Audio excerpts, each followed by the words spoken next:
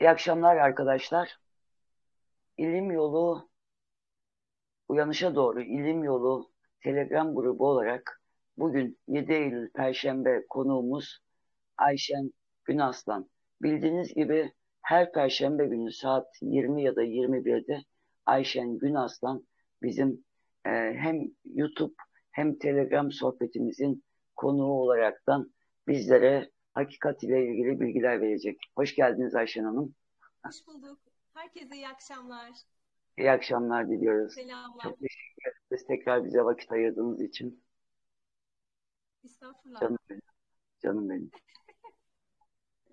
Geçen hafta konuştuklarımızdan e, keşke şunu da söyleseydim dediğim bir şey var mı acaba? Ondan başlasak. E, aklıma takılan bir şey vardı. Bir arkadaşım e, bu m, içsel ilhamlarla ilgili bir mesaj olmuş. Onu okudum, onu fark ettim. E, bu içsel ilhamları yani tabii biz şimdi kısıtlı, süremiz kısıtlı olduğu için e, böyle daha genel hatlarıyla konuşuyoruz. E, her birinin ayrıntısına inmiyoruz. Zaten ilk e, şey canlı yayınımızdı. Evet. E, buradaki içsel rehberden kastımız e, aslında kişide e, Cebrail bilinci dediğimiz ki o da kişinin kendinden açığa çıkıyor. Yani dışarıda hiçbir varlık yok. E, bir kuvvedir kişinin kendisinde. Aklı küllün açığa çıkmasıyla birlikte e, ilham açılıyor. E, bu herkeste açılır mı? Bir fikrim yok. Açılanların olduğunu e, duydum. E, şahit olduklarım oldu. Hani kendi bildirimiyle. Onu da bu şekilde açıklık getirmek istedim. E, onun dışında söz sizde İnanç Hanım. Şimdi ben e, konuştuklarımızdaki geçen haftaki notları açtım. E, orada senin söylediklerini söylemek istiyorum. E, dedin ki mesela benim ilk duyduğum cümleler bazıları e, kalp çakra yatay enerjisini genişletiyor dedin. Hı hı. Rahimden Rahman'a dikeydir aslında yolculuğumuz dedin. Hı. Onun için dedin kalp çakrasından da geçmemizin, geçmek zorunda olduğumuzun sebebi bu dedin. Ee, işte bulunduğumuz kemaletten, tohumdan ağaca anca bu şekilde gidebiliriz dedin. Yani dikeye yaptığımız yolculukla gidebiliriz.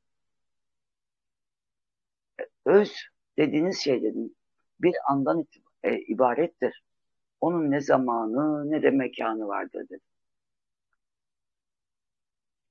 Edep demek dedin, e, samimiyet ve safi aşk demektir dedin. Öz bilinciniz dedin, akıl ve kalbin birleşmesiyle dedin olur. Akıl ve kalbi birleştirecek bir şekilde sizlere sohbet vereceğim dedin.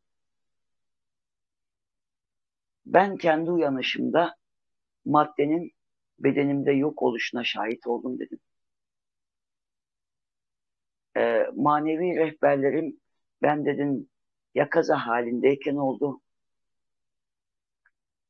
Cehenneme, ce cehennem, cennet, cehennem bunların hepsi dedim sırat-ı müstakim yani yol bunların hepsini birleyerek gideceğiz dedim. Bu süreçlerde dedim giderken esma suretlerinde aslında sizde olmayan esmalar da deneyimleyebilirsiniz dediniz. Ve deneyimledikten sonra zihin tamamen duruyor ve bir boşluk alanına giriyorsunuz. O boşluktan korkmayacaksınız. O boşluk anı dedin, o boşluğun içindeki oluş halini, oluş halini deneyimleyeceksiniz. Özellikle vurgulayarak söyledim. Daimi huzur istiyorsanız dedim. O daimi huzur alanı orasıdır dedim.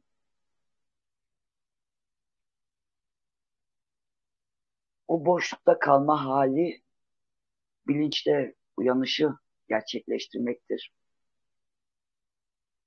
Maddede ne kadar köklenirse maneviyat o kadar yükselir. Madde ve manayı birlemek gerekir.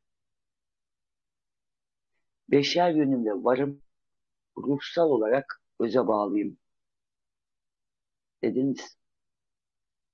Zihni evcilleştirmeye, egoyu terbiye etme, duygular dengeleme, nefsi ehlileştirme, bunlar konusunda bizlere yardımcı olacağınızı söylediniz. Sonra emmare temel ihtiyaçlar, levvame, sorgulama, mülhime, e, kalp çakrası, raziye gibi nefs mertebelerinden birazcık dem vurduk. Derken bugüne geldik. Bugün Sevgili tekrar şöyle bir toparlayalım mı? tabii. Yani böyle öyle bir anlatın ki Einstein'ın dediği yoldan gidelim. Yani bildiğiniz bir konuyu eğer 6 yaşındaki bir çocuğa anlatır gibi anlatamazsanız aslında o konuyu bilmiyorsunuz. Sadece ezberlediniz demektir. Halbuki ben biliyorum siz e, bir fizikçisiniz, fizik okumuşsunuz. E, ben matematik okudum, siz fizik okumuşsunuz. E, normalde e, insanlar 200-300 kelimeyle yaşarken bizim kelime hazinemiz aldığımız eğitimlerden biraz daha fazla. Belki biz 301 kelime biliyoruz. Dolayısıyla bir tık yukarıda e, daha zengin kelimelerle anlatabiliriz. O konuda çok rahatız. Onun için de buyurun anlatın. Sizi dinliyoruz. İnan canım inşallah elim gel elimden gel çalışacağım. Şimdi e, aslında hikaye tam da burada başlıyor. Yani bu dünyada hani o yüzden diyoruz ya biz beşeriz. Burada bir kişi kavramı var. Bir kişi var burada. Bir özne var burada dünya alanında. E, bunu tasavvuf ehilleri şeriat, tarikat, hakikat ve marifet olarak dörde ayırmışlar. Çünkü zihin böyle algılıyor. Şimdi bizim e, idrak etmemiz gereken şöyle bir alan var. E, nebat, hayvan ve insan, Hazreti insana daha sonra geleceğiz. Ben bunu biraz şöyle çizerek anlatmak istiyorum. Net görülebiliyor mu? Ben sizin görüntünüzü Ses sabitleyeyim. net gelmiyor. Nasıl? Yani mikrofona yani telefona yan döndüğünüz zaman ses yankısı dalgası öteki tarafa gittiği için netlik kayboluyor diyorlar. Tamam. Şöyle yapalım. Ben şu kendi görüntüleri göreyim. Ses kayboldu mu? Hayır, şimdi iyisiniz. İyi mi?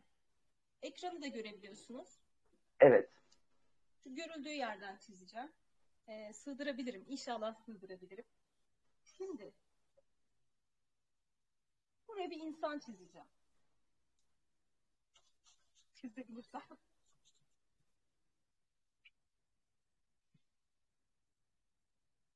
Bir insan tam olarak görünüyor değil mi?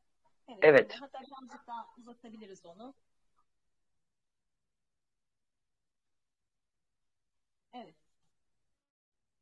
Şimdi insanın hani biz yedi çakra, yedi nefis mertebesi diyoruz ya.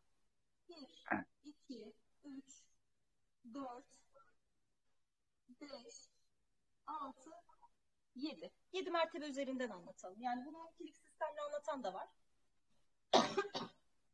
Ben buna şöyle bir hat çizeceğim. Sonra şöyle bir hat daha çizeceğim. Şu gördüğünüz ilk üç boyut, ilk üç bilinç seviyesi ya da ilk üç eee, şey çakralar. Evet. Burası tamamen dünya alemi. Yani eee şeriatta buna ne deniyor? Şeyde, tasavvufta şeriat. Şeriat alemi. Şuradan itibaren yola girdiğimizde artık tarik başlıyor. Kalbin olduğu alan hatta şuraya kadar yani burayı tamamen birleyene kadar burası hakikat alanı, kuantum alanı. Ee, onun dışında ne diyebiliriz? Ee, görünür görünmeyen alemlerin hepsini içine alan bir yer. Şimdi birincide ne dedik? Kök çakra, temel ihtiyaçlarımızın olduğu yer. Biz Evet. bu gördüğümüz insanı bir de şöyle piramide koyarsak şöyle yukarıya doğru azalacak ve bütün sistemler böyle işleyecek. Biraz sonra onları anlatacağım. Şimdi biz bu dünya alanında 1, 2 ve 3'te özellikle dünyadaki fiziksel kuralları, kişi olan fiziksel kuralları yaşıyoruz. Burada her şeyin pozitifi, negatifi mümkün. Biz bu gördüğümüz dünya alemine aynı zamanda çokluk alemi diyoruz. Çokluk aleminde artılar, eksiler var. Buraya aynı zamanda duygular ve düşünceler alemi diyoruz. Duygularımız, düşüncelerimiz, hepsi burada bu varlık alemini var ediyor. Yani dünya planını. Hani bir e, spatyum vardır. Spatyumda deriz ya e, en yüksek boyuttan yani zatın olduğu sonra önce astral plan, ondan sonra dünyanın bir kopyası ve en sonunda dünya dediğimiz katı alem açığa çıkıyor. Yani madde alem katıdır. Biz yukarıya doğru çıktıkça subtilleşeceğiz. Yani katıdan sıva, sıvıdan gaza. Ee, geçen hafta söylemiştik. E, yol alacağız. Şimdi birincisi kök çakra dediğimiz emare nefis. Burada kişi savaş ya da kaç tekniğiyle hayata bak bakar. E, ve burada temel ihtiyaçları söz konusudur. İlgiyle yaklaşır ve güvenlik ihtiyacını karşılamak, barınma ihtiyacını karşılamak için hayata bakış açısı budur. Burada tam anlamıyla bir akıl ve sorgulama yoktur. Levhane nefis dedik, sorgulamanın başladığı ama kişinin kendini sorgulayıp aynı zamanda kişinin kendini levmettiği yani e, pişmanlık duyduğu diyelim. Pişmanlık duyduğu olan ya ben bunları keşke yapmasaydım. Fakat burası dediğimiz gibi çokluk alemi. Burası duyguların ve düşüncelerin olduğu alem. Kişi birazcık daha yukarı. Bilinç olarak mülhime nefis dediğimiz, üçüncü sakral çakra dediğimiz, amigdala beyin dediğimiz, bağırsak sisteminin olduğu, duygularımızın çok yoğun yaşadığı alana geldi. Ama duygularımız, düşüncelerimiz ve zihnimiz hala bizde ve burada hala bir kişi kavramı var. Bu kişi kişilik kavramını yukarıdan, kalpten gelen ilhamlarla açıp bu enerjiyi yukarıya doğru taşıyabilen kişi mutmain dediğimiz, kalp çakra dediğimiz, hatta bizim İsa boyutu dediğimiz, enel hak dediğimiz boyuta geliyor. Bu noktada kalbi, kalbi açılımları e, eğer yeteri kadar olursa aşka düşüyor. Ama burada kuantum alanda hala yani noktada noktaya geldiğimizde yok. Fakat kalbe geldiğimizde şurada gördüğümüz artı eksi artı eksi çokluk alemini artık nereye düşürdü biliyor musunuz? İkiye düşürdü. Her şey sevgidir dedi. Biz bir şeyi duygular alemi, düşünceler alemi, bir şeyi kutupluluk ilgesiyle yani zıtlılık prensibiyle e, algıladığımız anda zıttını var ederiz. Bu bilinçte de var ederiz. Bu bilinçte de var ederiz. Bu bilinçte de var ederiz. Bu bilinçte de var. Şimdi aşk makamında diyorlar ki her şey sevgi. Hani konuşmuştuk. E, o dönemde ben bunu yaşadığımda e, işte Allah'ım sana yanıyordum aşktan, Allah'a olan aşkımdan. Hala orada dışarıda bir Allah arıyoruz. Hala orada dışsal bir varlık aleminde bir e, şey var, Allah kavramı var. İşte tam bunların idrakında kişi yol almaya başladıkça şuraya geldi. Burada yeniden bir e, bu pozitif, negatif olayı var ya, şurada pozitifini yaşadı ki aslında ikiye düştü. Buna şey de diyebiliriz. Ne diyebiliriz? E, burada cennet, cehennem. Doğru mu? Bu alana geldiğinde artık burası hakikat dediğimiz alan. Ama e, geçtiğimiz hafta da söylemiştik. Burası eksik makam. Neden eksik? Burada kişi hakikatını idrak ediyor. Aşkı yaşıyor. Aşkı yaşadıktan sonra fena dediğimiz fena mertebesine yani yokluğa doğru gidebilirse ya evet bütün bu gördüğüm alem şu aşağıda gördüğüm dünya alemini benim beynim, benim zihnim var etmiş. Bu alem benden açığa çıkan bir alem dediği ve bunu idrak ettiği anda yokluğa gidiyor tam yokluğa. Diyor ki yani ben yokum ki. Ben yokum. E, buna kuantumcular diyor ki mesela e, inşallah e, Allah nasip ederse e, ona da değiniriz. Atom ve atom altı parçacıklarla e, atom, protonlar, nötronlar ve protonun yani çekirdeğin altında da kuark boyutu. Bu kuark boyutunda da e, artık hatta takyonlara kadar gidiyor. İnşallah anlatırız onları. Zevkle. E, o da takyonların gelecekten geldiği söyleniyor. Ve kuantum alanda aslında diyor ki şimdi burada burası tüm dünya alemi bizim gördüğümüz bir alem değil mi? Buraya görünen alem. Burada bir gören var. Bu hakikat alanında da diyoruz ki ben bir kuantum bir atom yani Anlaşılmadı. duyuyor Üstü anlaşılmadı. Kesinti oldu. Şu an duyuyoruz. Altı görünen alem dediniz. Üstü e, gören alem, burada bir gören olduğunu, sizden açığa Evet. çıkan bir şey olduğunu idrak ettiğinizde e, gözlenen ve gözlemci var. Bilim adamları diyor ki biz diyor e, elektronları bu deneyler yapıyorlar, fizik deneyleri. Gözlemlersek var olduğunu, hatta onu da zor gözlemledik. Gözlemlersek var olduğunu idrak ettik diyorlar. Şimdi bu noktaya geldiğimizde kişi diyor ki Allah'ım hani fena dedik ya yokluğa doğru tam anlamıyla gidiyor. Sadece sen varsın. Her şey senin ifade bulmuş hali. Meğer ben bu alemi pozitifiyle, negatifiyle, iyisiyle, kötüsüyle, güzeliyle, çirkiniyle ben yorumlamışım. Neyi idrak etmek için? Kendimi bilmek için. Yani bilinmekte istediğim alemleri yarattım diyor ya. Bu alem görünür alem. O noktanın şimdi sonra buraya geliyoruz. Raziye, marziye dedik. Noktaya geldik tamam mı? Yani kuantum alan aslında noktanın ilminin de olduğu alandır. Şimdi onu da şöyle daha sadeleştireceğim.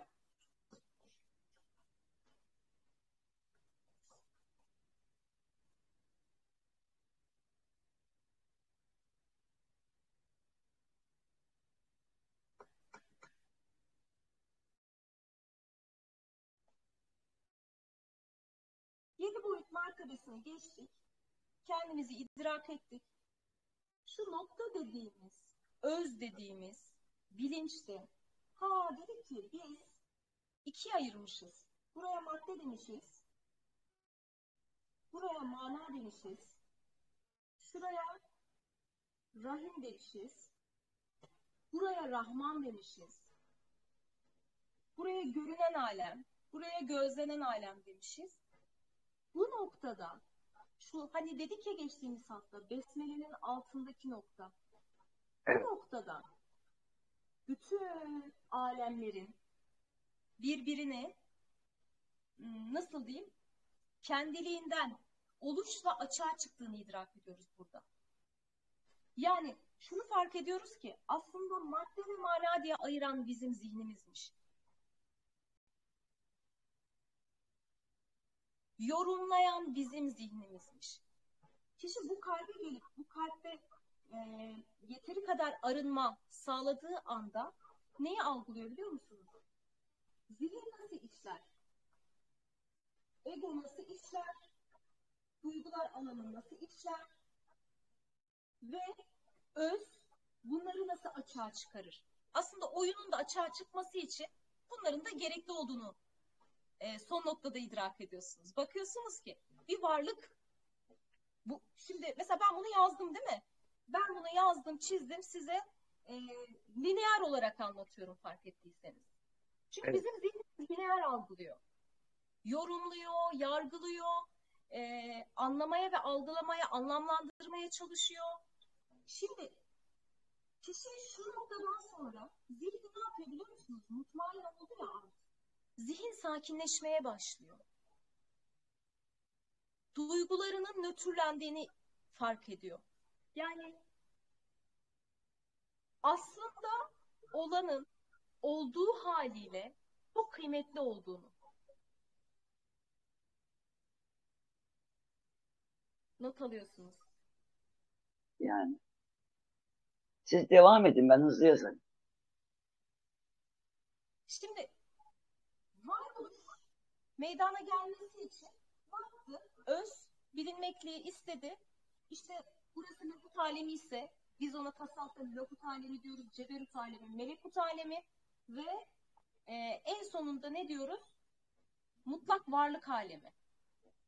mutlak varlık alemine ne yaptı? Bu görüntüleri indirdi ve burada bir yaşam oluştu. Yani burası mutlak varlık alemi mi? Burası Varlık alemi. mutlak varlık alemi. Tamam. Kişi kendine diyordu ki biz buraya birinci uyanış. Özü idrak ettiğinde kişi, aa her şey e, o kalbimizdeki Süveyda'dan, o noktadan açığa çıktı. Dediği noktada birinci uyanışını gerçekleştirdi. Bugün Instagram'dan bir canımız sormuş. Dedim ki inşallah canlı yayında açıklarız. İkinci uyanış dediğimiz artık kişinin bu bilgileri idrak edip, hal edip, tüm varlığı bu anlamda oluş halinde kabule geçip, yorum, yargı, duygu durumlarının üzerinde bakın, zihin, ego ya da duygu yok oluyor demiyorum. Evet. Tam olarak kişi bunların üzerinde kontrol, yani bu nasıl diyeyim? Şimdi baktık ki kuantum alanda dedik ya her şey bir oyun. Bütün yaşam bir oyun. Aslında biz varlık olarak yokmuşuz. Burası hologram evrenmiş vesaire. Ee, ne yaptık? Yokluğa gittik değil mi? Zaten ben yokum, o yok, e, bu yok, varlık yokmuş. Bu yokluğa gittik ya. Sonrasında ikinci uyanış dediğimiz yani kişinin artık bu idraka ulaşıp bütün bu varlığın içine bilinçli halde oluş halini kabul ederek akmasına ikinci uyanış deniyor. O nerede olacak? Artık yaşamın içine yeniden dönüyor. Nasıl? Anlamadım. O ikinci uyanış nerede oluyor? Artık bu bütün mertebeleri bitirdikten sonra İkinci uyanış. uzunca süre şöyle oluyor. Zihin e, mesela bunu şöyle anlatayım. Ben bu tahtayı çocuk için almıştım. Çok sevdim şu an. Evet ben de çok sevdim. Gayet güzel oldu. Ben şimdi bunu şöyle anlatıyorum. Hala burada tam uyanışın olmuyor. Yani nasıl diyeyim? Evet öze gittiniz, özdesiniz. Ama hiç o öz deneyimi orada bir süreç geçiyor. Ehlileşmek adına ve dengeye gelmek adına yine. Kişi ne kadar derin öze gider, ne kadar o o hale bürünürse çünkü hala özde hareket yok dedik ya, yaşam yok, hareket yok. Ne kadar oraya giderse yaşamın var olabilmesi için harekete ihtiyaç var. O kadar nereye gidiyor biliyor musunuz? Zihne gidiyor. Bu gidiş geliş öz zihin, öz zihin. Bu arada bunu anlatıyorum ama bunların tamamı benim kendi deneyimlerim, benim hikayem, benim e, yorumlarım. Benden açığa çıkanlar. Öz zihin, öz zihin, öz zihin dedikten sonra sonunda kişi bir noktaya oturuyor. İşte sıfır noktası dediğimiz yerde artık bir bakıyor ki her şey durulmuş. Bu bir süreç oldu. Ben de bir e, uzunca bir süreçte bu şekilde geçti. Önce özü deneyimledim. Boşluktaydım. O boşlukta gerçekten hareket yok. Dediğim gibi yaşam yok. Hiçbir şey yapmıyordum. Yani yemek yemek aklıma gelmiyordu. Çocukla ilgilenmek aklıma gelmiyordu. Evet bir huzur hali var ama boş bakıyorum. Çünkü zihin gerçekten orada çok e, duruluyor. E, artık zaten duygularınızın ve düşüncelerinizin üzerinde bir e, hakimiyet ve farkındalık sahibi oluyorsunuz. O farkın farkı dediğimiz yer. E, fakat varlığa dönüş çok çok kolay olmuyor. Zamanla özden zihine yani ne kadar bunu şey gibi de düşünebiliriz. Bir ipi ne kadar kuvvetli çekersek o kadar yukarı fırlar değil mi? Evet. Ne kadar derine gidersek o kadar yukarıya yani zihne yaşamın içine. En son noktada bu duruluyor ve zamanla siz diyorsunuz ki ha ben bu bilinçle bu idrakla aslında varlık ve yaşam varmış. Her şey gerçekmiş. Bedenimde gerçek, ruhumda gerçek, bu yaşamda gerçek, hissettiklerim de gerçek, ben varım. Ama ben neyle varım? Öz varlığımla varım. Ve fark ediyorsunuz ki bütün bu gördüğünüz dünya aleminde oluşan görüntüler sizin zihin ekranınızdan dünyaya yansıyan görüntüler. Ondan sonra zevk ediyorsunuz. Farkına varıyorsunuz ve daha kapsayıcı, daha kabul edici oluyorsunuz. Ee, bu arada şimdi dedik ya bir yanımız beşer, beşer yanımızı da kabul ediyoruz. Bir yanımız beşer, bir yanımız öz ama öz beşeri kapsıyor, öz zihni kapsıyor, egoyu kapsıyor. Her birini içine alıyor. e, ve değiştirip dönüştürüyor. Yani siz şimdi bu varlık aleminin olmadığını idrak ettiğinizde e, duygularınızın bir önemi kalıyor mu? Ya da çözülecek, bilinç altında çözülecek bir şey kalıyor mu? O dünya alemi bilinçaltımız aslında. Burada düzeltilecek, değiştirilecek ya da kusur görecek bir şey kalmıyor. E, bakıyorsunuz ki o noktada her şey bir oluş halinde.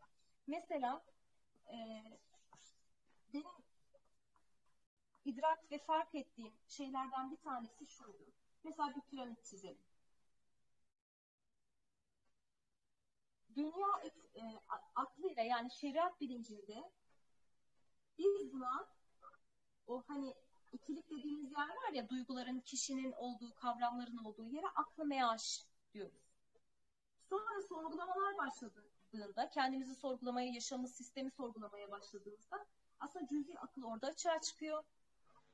Sonra artık bunların tümünü idrak ettiğinde külli akıl dediğimiz, tümel akıl dediğimiz, e, ruhul kudüs de diyebilirsiniz buna. Külli akıl yani bütün akıl açığa çıkmaya başlıyor. Artık yani siz ne yaptınız? Ana bilgisayar, ana programa, gerçek kaynağa bağlandınız. Ve artık bütün yaşamınız buradan idame ettiriliyor. Peki insanda bu mesela e, şeyden bahsetmek istiyorum kendi konumuzdan da çok sapmadan insanda önce insan üzerinden değil varlık aleminde yani bu alemde dışarıda gördüğümüz maddelerden ve yaşamdan bahsederim. En altta ne var? Mineral alemi değil mi? Sonra nebat dediğimiz bitki alemi. Sonra hayvan alemi. Biz buna ins boyutu diyoruz. En sonunda da Hazreti insan var. Şimdi mineral alemine baktığımızda e, şey olarak sayı olarak çok fazla değil mi? Mikroorganizmalar, e, ondan sonra şeyler, hmm, bakteriler, virüsler, mineraller, amino asitler bu da çok çok fazla. Biraz bitki alemine çıktığımız zaman ne yapıyor? İşte piramit o yüzden e, azalıyor. Bitki alemine çıktığımızda ne oldu? Bu birazcık daha sayı olarak azaldı. Fakat bitki aleminin içinde de aynı piramit. Yani aynı e, sistem. Her birinin içinde de bir sistem var. Aynı sistem ama. Bir yukarıya çıktık. Hayvan alemi var. Hayvanlar aleminin içinde de küçük e, hayvanlardan daha büyük ve gelişmiş hayvanlara doğru gidiyor ama şey gibi düşün. Karıncalar e, mesela en altta karıncaların olduğunu düşünelim. Misal veriyorum şu an aklıma gelen. Bir sürü karınca var. E, kediye geliyorsun yani ya da işte kuşlara geliyorsun kuşlar da aynı şekilde. Sonra kediye geliyorsun mesela 5 tane 10 tane. Sonra daha gelişmiş varlıklara geliyorsun. 3 tane 4 tane doğurmaya başlıyor. Çoğalım anlamında konuşuyorum. Yani çokluk anlamında söylüyorum. İşte Hazreti insana doğru geldiğimizde yani insan makamına insana geldiğimizde insan sayısı ne yapıyor? 3 tane doğuruyoruz, 2 tane doğuruyoruz. Daha da azalıyor. Yani hem bedensel kütle olarak hem de varlık olarak e, bilinç olarak, şuur olarak artmaya başladıkça, yükselmeye başladıkça sayı azalmaya başlıyor. Bakın burada da e, dualite ve kutupluluk var. Zıtlılık burada da işliyor. Peki aynı zamanda biz bunu insan olarak düşünsek, mineraller bizim bedenimizde var mı? Var. Bitkilerle besleniyor muyuz? Besleniyoruz. Hayvanlarla besleniyor muyuz? Besleniyoruz. Bunların aynı şekilde DNA'sının kayıtları bizim bedenimizde mevcut mu? Mevcut. Evet. Şimdi ben bunların hepsini aynı zamanda ne yaptım? Bedenimde kapsadım değil mi? Evet. E şuurumda da var bu. Şuur boyutunda da hayvan e, bilinci bende var. Sadece yiyip içip e, ürüyorsam ben, yaşamı hayatı sorgulamıyorsam, bir ruha sahip değilsem ben burada hayvani bilinçteyim. Biz ona ins boyutu diyoruz. Cin boyutu, ins boyutu. Münhümeye kadar olan alana hayvani boyut diyoruz. İnsan ne zaman kalbi makama gelirse, mutmain olursa, yani bütün gördüklerinden razı olursa, işte o zaman Hazreti insanı kendinden doğurmaya başlıyor. E peki Hazreti insan kimdir? Hazreti insan bu alemlerin hepsinin kendinden açığa çıktığını, maddesini manasını birleyen Muhammedi bilinçtir. Yani insan o zaman ne yapıyor? Muhammedi bilinci kendinden doğuruyor. Maddeyi manayı birbirinden ayırmayan her şeyin bu özün bir rüyası. Hani dedik ya bilinmekli istediğim alemleri yarattım. Ya da e, kendi bilinmekliğini istemek. Kendinin merkezine oturmak. Kendinin merkez olduğunu idrak ettiğinde ne yaptı? Bunu hem şuurunda hem bedeninde deneyimledi dedik. Hazreti insan oluştu. Yani Hazreti insan olduktan sonra kişi e, kişi de demiyorum. İşte artık o öz bilince ulaştığında ne yaptı? O kişi dediğimiz özne olandan özgürleşti. Sen çekil aradan ortaya çıksın yaradan.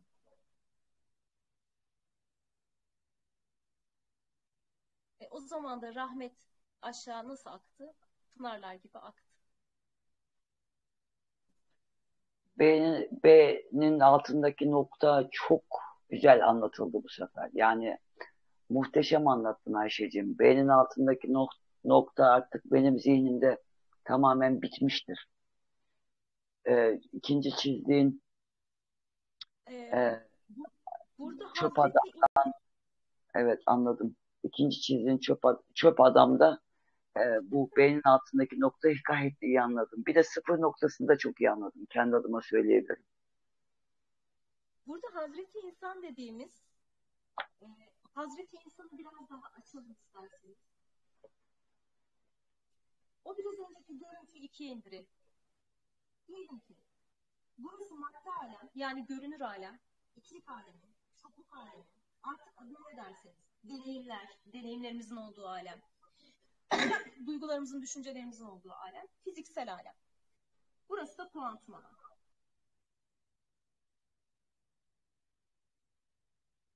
Şuraya da nokta veriyorum. Nokta burada. Buraya mana diyoruz değil mi aynı zamanda? Hani Mana alemi diyoruz ya, ayırıyoruz ya. Ayıran kim? Zihin.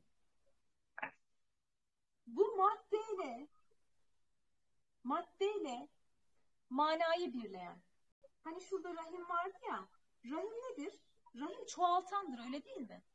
Evet, Doğuran, çoğaltan, yaratım, üretim.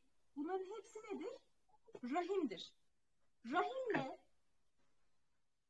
hani geçen hafta demiştik ya e, burası rahimiyet yani çokluk alanı olduğu için burada herkese eşit dağıtılmayabilir. Burada farklılıklar, çeşitlilikler açığa çıkabilir. Fakat Rahman her şeye aynı nazarda bakıp ayırmaksızın verir. İşte Hazreti insan dediğimiz kendindeki rahimle Rahman'ı birleyen, kendindeki manayla maddeyi birleyen, teklikle çokluğu birleyen, yani burası nokta tekti ya hani, tek, tekin olduğu yer burası. Altı neydi? Kalp. Bir. İşte tekbir burada açığa çıkıyor. Tekbir diyoruz ya, tekbir Allahu Ekber. Tekbir, Allahu Alemin açığa çıktığı tek birden Hazreti insanı doğuruyor. İşte Hazreti insan da rahimden Rahman'a, maddeden manaya sürekli gidiş ve geliş halinde olan. Ben kendimi burayla kayıtlamıyorum. Ben kendimi ben noktayım deyip burada boşlukta yaşamıyorum. Diyorum ki e, o zaman benim bu maddede gördüğüm her şeyde, her şeyin içinde özse, her şey hak değil artık. Kalp çakradayken, yani hakikat bilincindeyken diyorduk ki gördüğüm her şey Allah. E görünen görünmeyen her şey Allah'sa artık bu noktadan ne yapıyoruz? Varlık sahasına yeniden dönüyoruz. Ama neyle? Kalbimizde onların her birinin öz olduğu, haktan olduğu bilinciyle. Ve artık Allah'ın boyasına boyanıp yeniden bir ruh üflenerek, yeniden bir can verilerek varlık sahasına yeniden dönüyoruz. Oyun içine karışıyoruz. Beşeriz dedik ya.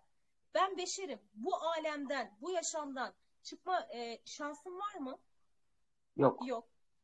E, beşerin ihtiyaçları yok mu? Yeme, içme, üreme, barınma. Bu ihtiyaçlarım yok mu? Var. E şimdi ben neyim değişti? Bende değişen ne? Ben bu bilgilerin hepsini idrak ettim, bildim, anladım ve hayatıma uyguladım. Sadece şuurumuz ve hayata bakış açımız değişiyor. E bu noktada siz e, pozitif, negatif, iyi, kötü, güzel, çirkin olarak yaşamı algılamadığınızda sadece oluşun içine hani o e, konuştuk ya su gibi olmak ya da hava gibi olup bütün yaşamın içine nüfuz etmek. E bunu idrak ettiğinizde her varlığa rahmetle ve nazarla bakmaz mısınız?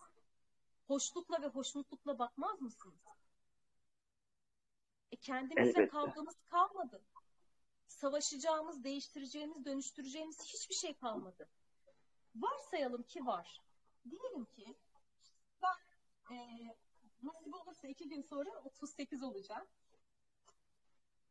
Şimdi ben 38 yaşındayım. Bu bedenden e, öz olarak e, Allah işte bu varlık aleminde bu bedenden zuhur etti. Öz olarak hala işte hastalanıyorum. Beşe, beşer olarak özür dilerim. Beşer olarak hastalanıyorum. E, yaşamın içinde bazen öfkeleniyorum, bazen kızıyorum. E, biz ben, ben yaşamıyor muyum bunları? Hala yaşıyorum. Aradaki tek fark sadece bunun bir oyun olduğunu idrakındayım ve farkındayım. Duygularımın farkındayım. Duygular bazı belli başlı duygular var. Onlar doğal duygular, yaratılışımızdan gelen duygular. Duygularımı nötrlüyorum dersem ben burada yine bir oyun yaratacağım. Zihnimi sıfırladım dersem ben burada yine bir oyun. Yani bu tam anlamıyla bu oluşu kabul etmek, yaşamın içine bu anlamda akmak. Evet kendine bu anlamda öz şefkatle, merhametle yaklaşmak. Duygular geliyor, akıyor ve gidiyor. Hani teflon tava dedik ya geçen hafta. Teflon tava Evet. üzerinden aktı geçti. Tutunmuyor. İçeride çünkü düşünce yok. Düşünce olmayınca da o ne yapıyor? O duygu içeride kayıt olmuyor. E kayıt olmayınca da akıyor gidiyor. E şimdi ben burada e, mükemmellikten de bahsetmiyorum. Yani Ayşen işte ne yapmış? Bu makamı idrak etmiş. Öz olarak var olduğunu iddia ediyor. Kendine böyle bir oyun e, çıkarmış. Bu bir masal, misal neyse. E Ayşen şimdi e, burada mükemmel olmalı. Hayır. Hani bize hep tasavvufta şey öğretildi ya marifeti işte Evet. çok ahlaklı olmak, şöyle olmak, böyle olmak, marifet ehli insan böyle olur, şöyle olur. Hep kaideler, sınırlar ve e, maddeler koyuldu ya. Hiç öyle bir şey yok. Hiç öyle bir şey yokmuş. Ben kusurlu olabilirim. Bedenen kusurlarım olabilir. Hatta davranışsal kusurlarım olabilir. Duygularım gele gide, gelip gidebilir ama onların ya da ya da bu bedendeki kusurların kusurlu görünmesinde bir sakınca yok. E bedende tekamül etsin. Sakınca var mı? Bence sakınca yok. Yani kişi olanın, burada görünen kişinin kusurlu olmasında da bir sakınca yok. Önemli olan o e, kuantum boyutu idrak etmek, bu şuurla hayata bakmak, bu şuuru kendinde açığa çıkarmak. Biz hep zorlaştırdık. Çünkü dedik ya geçen haftada, zihin zorlaştırıyor. O zaman zihni gerçekten çok iyi anlamak lazım İnanç Hanım. Evet.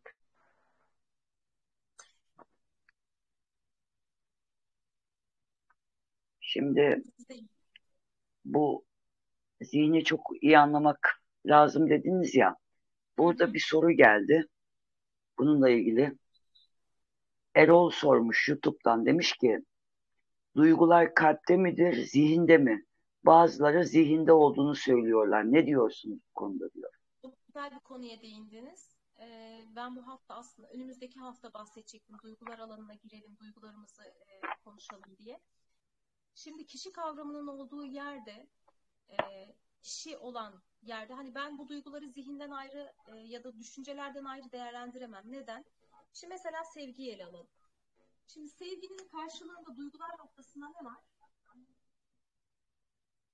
Nefret var değil mi? Evet, Hatta bunu şöyle çizeceğim. Siliyorum. Sevginin karşısında ne oldu? Nefret oldu. evet, Burada ne var? Dualite var değil mi? Kutupluluk var. evet, Dualitenin olduğu yerde kim vardır? Kişi vardır. Özne kim? Ben. ben, evet, Ben. Ne yaptık? Kişi olan kavramda kaldık. E burada zihnin olmaması mümkün mü? Burada ne vardır aynı zamanda? Şimdi ben bir kişiyi seviyorum. Sonra kişi işte hmm, karşımda bir kişiyi sevdim. Hatta bunu aşk bile diyebilirsiniz. İhanet etti, beni aldattı. Evet. Ne oluştu bende? nefret, Nefret oluştu. O zaman ben bu halini ne için yaptım? Toplumda, kişi olan da, zihin olan da belli başlı kurallar, şeyler var. Bunlardan bir tanesi kabul görme. Bir tanesi sevme sevilme. ihtiyaç ama bunlar değil mi? Evet. Burada ne açığa çıktı? İhtiyaç. İhtiyaç sahibi olan kim? Özne. Peki ben bu sevgiyi aldım. Kuantum alan ya da bütünsel e, olarak konuşuyorum. Oradaki sevginin bir karşılığı var mı? Yok. Buradaki sevgi nedir biliyor musunuz? Enerjidir. Kaynaktan gelir, toprağa akar, sonsuz ve daimidir. Hani az önce dedik ya kaynaktan pınarlar gibi akar. Aktıkça çoğalır, çoğaldıkça toprağa akar. Artık çünkü bu buradaki bütünsel sevginin içinde e, aşkın daha latif hali dedik ya buradaki sevgi. Şu arada aşk makamı var, ilahi aşk var. Aşkın daha latif hale gelmiş, daha kapsayıcı hale gelmiş, daha olgunlaşmış hali diyebiliriz. Buradaki sevgi enerjidir, beklentisizdir. Sadece varlığa dolayı kabulle ve sevgiyle, e, rahmetle bakar. E, o zaman bu nedir? İhtiyaçsızdır. Kutupluluğun olmadığı yerde, kutupluluğun olmadığı yerde, ihtiyacın olmadığı yerde ne açığa çıkıyor zaten? Öz açığa çıkıyor. Yani duygular aleminde böyle. Bunu her anlamda, her yerde, mesela ahlakta da kullanabiliriz. Biz ahlaka çok e, şey yapıyoruz ya. Mesela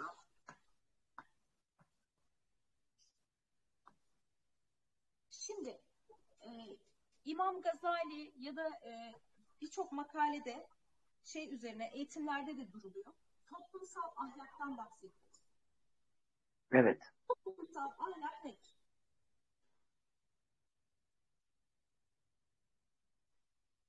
Mesela ben e, İnanç Hanım size sorayım. Sizce toplumsal ahlak nedir? Bana göre toplumsal ahlak e, adalettir. Adalet. Kendine yapılmak, kendine yapılmasını istemediğin bir hareketi başkasına yapmamaktır. Bir ağaç gibi tek ve hür, bir orman gibi kardeşçesine yaşamayı başarabilmektir. Bunu başardığın toplumun kuralın neyse o. Ama e, bu dediğim kriterler e, olmalı. E, bu Çin'de farklıdır. Türkiye'de farklıdır. Arabistan'da farklıdır. Norveç'te farklıdır. Anlatabiliyor muyum? Bana göre toplumsal ahlak budur.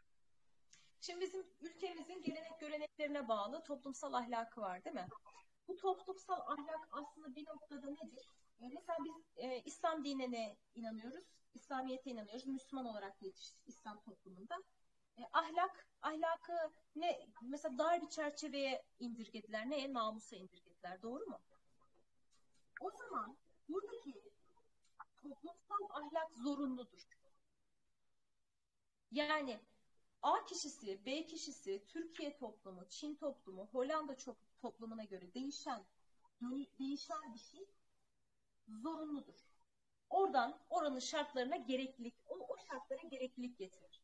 Şimdi bizim değerler dediğimiz bütünsel, tümel değerler, bütünsel bir ahlak var. Öz noktasında yani bütün o varlığı idrak ettiğinde. Şimdi bunu idrak eden yani şimdi ben konuşuyorum aslında ne kimseye bir şey bak bunu bütün kalbimle söylüyorum. Ne kimseye bir şey öğretiyorum ne bir e, iddiam var. Sadece bu yolda yaşadığım deneyimleri e, aldığım öğretilerle birlikte süzgeçten geçirdim. Bunları bu bunu bunları yaşayan ya da bu yolda kendini kendi merkezine oturmak isteyen gerçekten o alanı deneyimlemek isteyen canlarıma kendi bilgilerimi e, kendimi ikna etmek için aslında kendi kendime paylaşıyorum. Şimdi bütünsel değer açığa çıktığında, öz açığa çıktığında o noktadan şimdi kişi bütün bu varlık halinin kendinden açığa çıktığı, tek bir özden var olduğunu ve bunun her an var, her an yok. Yani bir an var, bir an yok. Hani dedik ya varlık alemi bu şekilde biz noktada böyle bir şey var. Biz bunu e, kuantum alanda böyle ama biz bunu maddede farklı algılıyoruz diye. E şimdi baktı A kişisiyle konuşuyor kendisi, B ile konuşuyor kendisi, C ile konuşuyor kendisi. Hatta bunu şöyle bir örnek verelim. Bir tane hakim olsun. Bir tane e, şeye ne deniyor? Hmm, Savcı ya da şey hükümlü, tutuklu. Olacak yani ne deniyor onu bilmiyorum. Sen tamam mı? Yani şey yapıyor. Bir tane avukat olsun. Davacı, davalı. Davacı davalı. Ha, bak çok daha iyi oldu. Davacı var. Burada da davalı var. Davacı diyor ki davalı diyor ki davacıyım. Hakim diyor ki işte sen haklısın, sen haksızsın, sen burada haklısın, sen burada haksızsın. Hakim de ne yapıyor? Hüküm veriyor değil mi? Şimdi kişi eğer toplumsal ahlak noktasından bakarsa burada üç kişi var. Doğru mu? Kişinin olduğu yerde Evet. varlıkta. Üç kişi var. Evet. Toplumsal ahlaka göre nasıl davranması gerekiyorsa aynı zamanda e, kişisel çıkarları neyi gerektiriyorsa o şekilde davranır değil mi? Evet.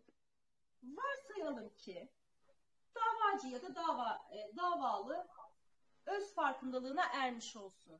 Davacı şimdi davalıya bakacak. Davalı da kendisi. Hakime bakacak. O da kendisi. Şimdi davacı ya da hakim olsun mesela. Davacı bu davranışta yine nasıl davranması gerekiyorsa o şekilde davranır. Fakat burada kişi olmadığı için bütün varlığa pozitif ve negatif, iyi ya da kötü olarak bakmadığı, bütün varlığın kendisi olduğunu, gördüğünün her birinin kendi olduğunu idrak ettiği için ne yapacak? En doğru, en hakkaniyetli karar verecek. İşte o zaman hak alıp hak veren olacak. Fakat ayrılık olmayacak ya da bunun içinde ego olmayacak. E, o zaman bütünsel değerlerden tekrar dönecek olursak, bütünsel değerler kişi öz bilince geldiğinde A kişisi, B kişisi, C kişisi, D, D kişisi diye görer, görür mü? İdrakında? Görmez.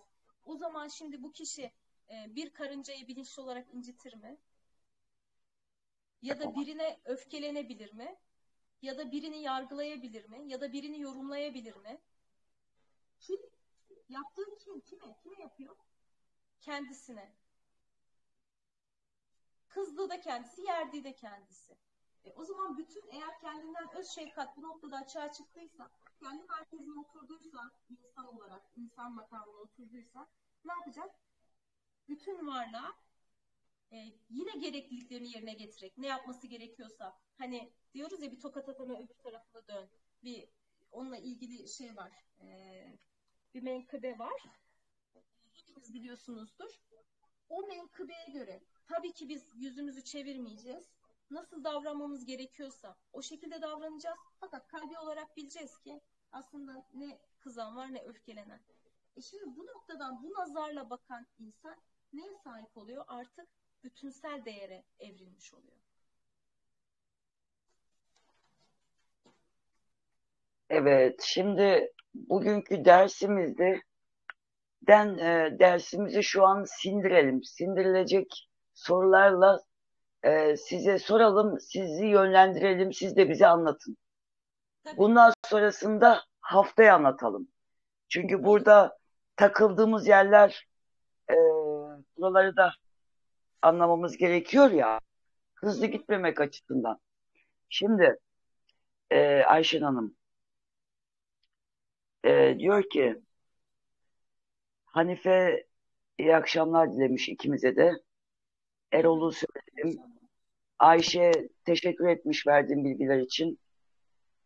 Ee, Hülya demiş ki maddenin olmadığı halini yaşamadan uyanış gerçekleşir mi? Ama nasıl yaşamadan? Yani şuur olarak yaşamakla idrak etmek gerekiyor bunu. Yani herkesin deneyimi kendine özel. Herkes farklı farklı idrak edebilir. Her birinde zaten e, esma terkiplerimizle herkes bir fıtrat programı gereği dünyaya geldi. Herkes de farklı açığa çıkabilir. Ama o şuura ulaşmak, onu gerçekten ona inanmak ve idrak etmek gerekiyor. Bir de demiş ki uyanış tarifle olur mu? Yoksa bu sadece ilmel yakin midir sizin anlattığınız? Nasıl? Uyanış tarifle olur mu? Sizin bu anlattığınız sadece ilmel yakin mi demiş. Hem ilmel yakin, hem aynel yakin, hem de hakkel yakin. Evet. Zaten e, Hülya'cığım e, sormuşsun ama şudur yani uyanışın ne olduğunu ne olmadığını hani insan bedenini e, enerjisel olarak tanımak e, çok hani bunlarda bilinçli olmak yolculuğa hakikaten eğer bu bilgileri akıl süzgecinden geçirip gönlünüze indirdiğinizde, hal edindiğinizde çok işinize yarayacağını bilirsiniz. Çok işinize yarayacak bu bilgiler. Gönül demiş ki can kulağıyla dinliyoruz. Çizerek mantıklı bence harika yaptınız demiş. Vuslat da demiş ki gecenin duası Allah'ım ölmeden önce ruhumu sana kavuşturmayı diliyorum. Sana teslim olmak istiyorum. Amin demiş. Amin Vuslat.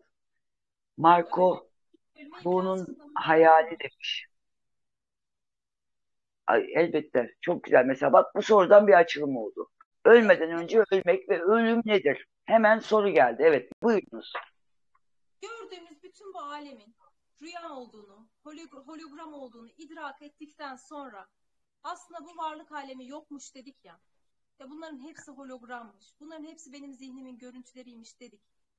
Buna gerçekten kalbi olarak, zihni olarak, yaşam olarak inandığımız anda gerçekten o ölmeden önce çünkü hiçbir şey şimdi bütün varlık yok oldu, bitti. Dedi ki burası hologram evren. Aslında biz yokmuşuz. Dediğiniz anda bu sefer yaşam keyif vermemeye başlıyor. Yemek istemiyorsunuz hiç. Ya ben niye diyorsunuz? Yani bu bir rüyaysa, bu gördüğüm bir rüyaysa bu sefer içinizden hiçbir şey yapmak gelmiyor. Gerçekten yani bunu hani öyle basitçe de anlatabilirsin. Hiçbir şey yapmak gelmiyor. Yani ne bir şey yapmak istiyorsunuz, ne yaşamdan zevk alıyorsunuz, e, eskiden keyif aldığınız hiçbir şeyden keyif almıyorsunuz. Öyle sizi saatlerce böyle bıraksınlar, izleyin. İşte eğer bu noktayı yaşadıysanız ölmeden önce öldünüz ve birinci uyanışınız gerçekleşti. Evet. Çok güzel bir sohbet. Teşekkürler demiş Nuran. Ee, Erol demiş ki bazı uyanış yaşayanlar dünyanın frekansının yükseldiğini, herkesin buna uyum sağlayacağını, uyanış yaşayacağını sağlayamayanların da dünyamızı bir şekilde terk edeceklerini söylüyorlar. Bu husustaki düşünceleriniz nelerdir? Hiç öyle bir şey yok. Şimdi e, dünya alemi geçtiğimiz derste söylemiştik ya her şey pozitif ve negatif de var. Tamam. Burası çokluk alemi. Bu alemde iyinin de kötünün de olması. Zaten karanlığı idrak etmemiz için aydınlığın, ışkın, aşkın açığa çıkması gerekiyor ya.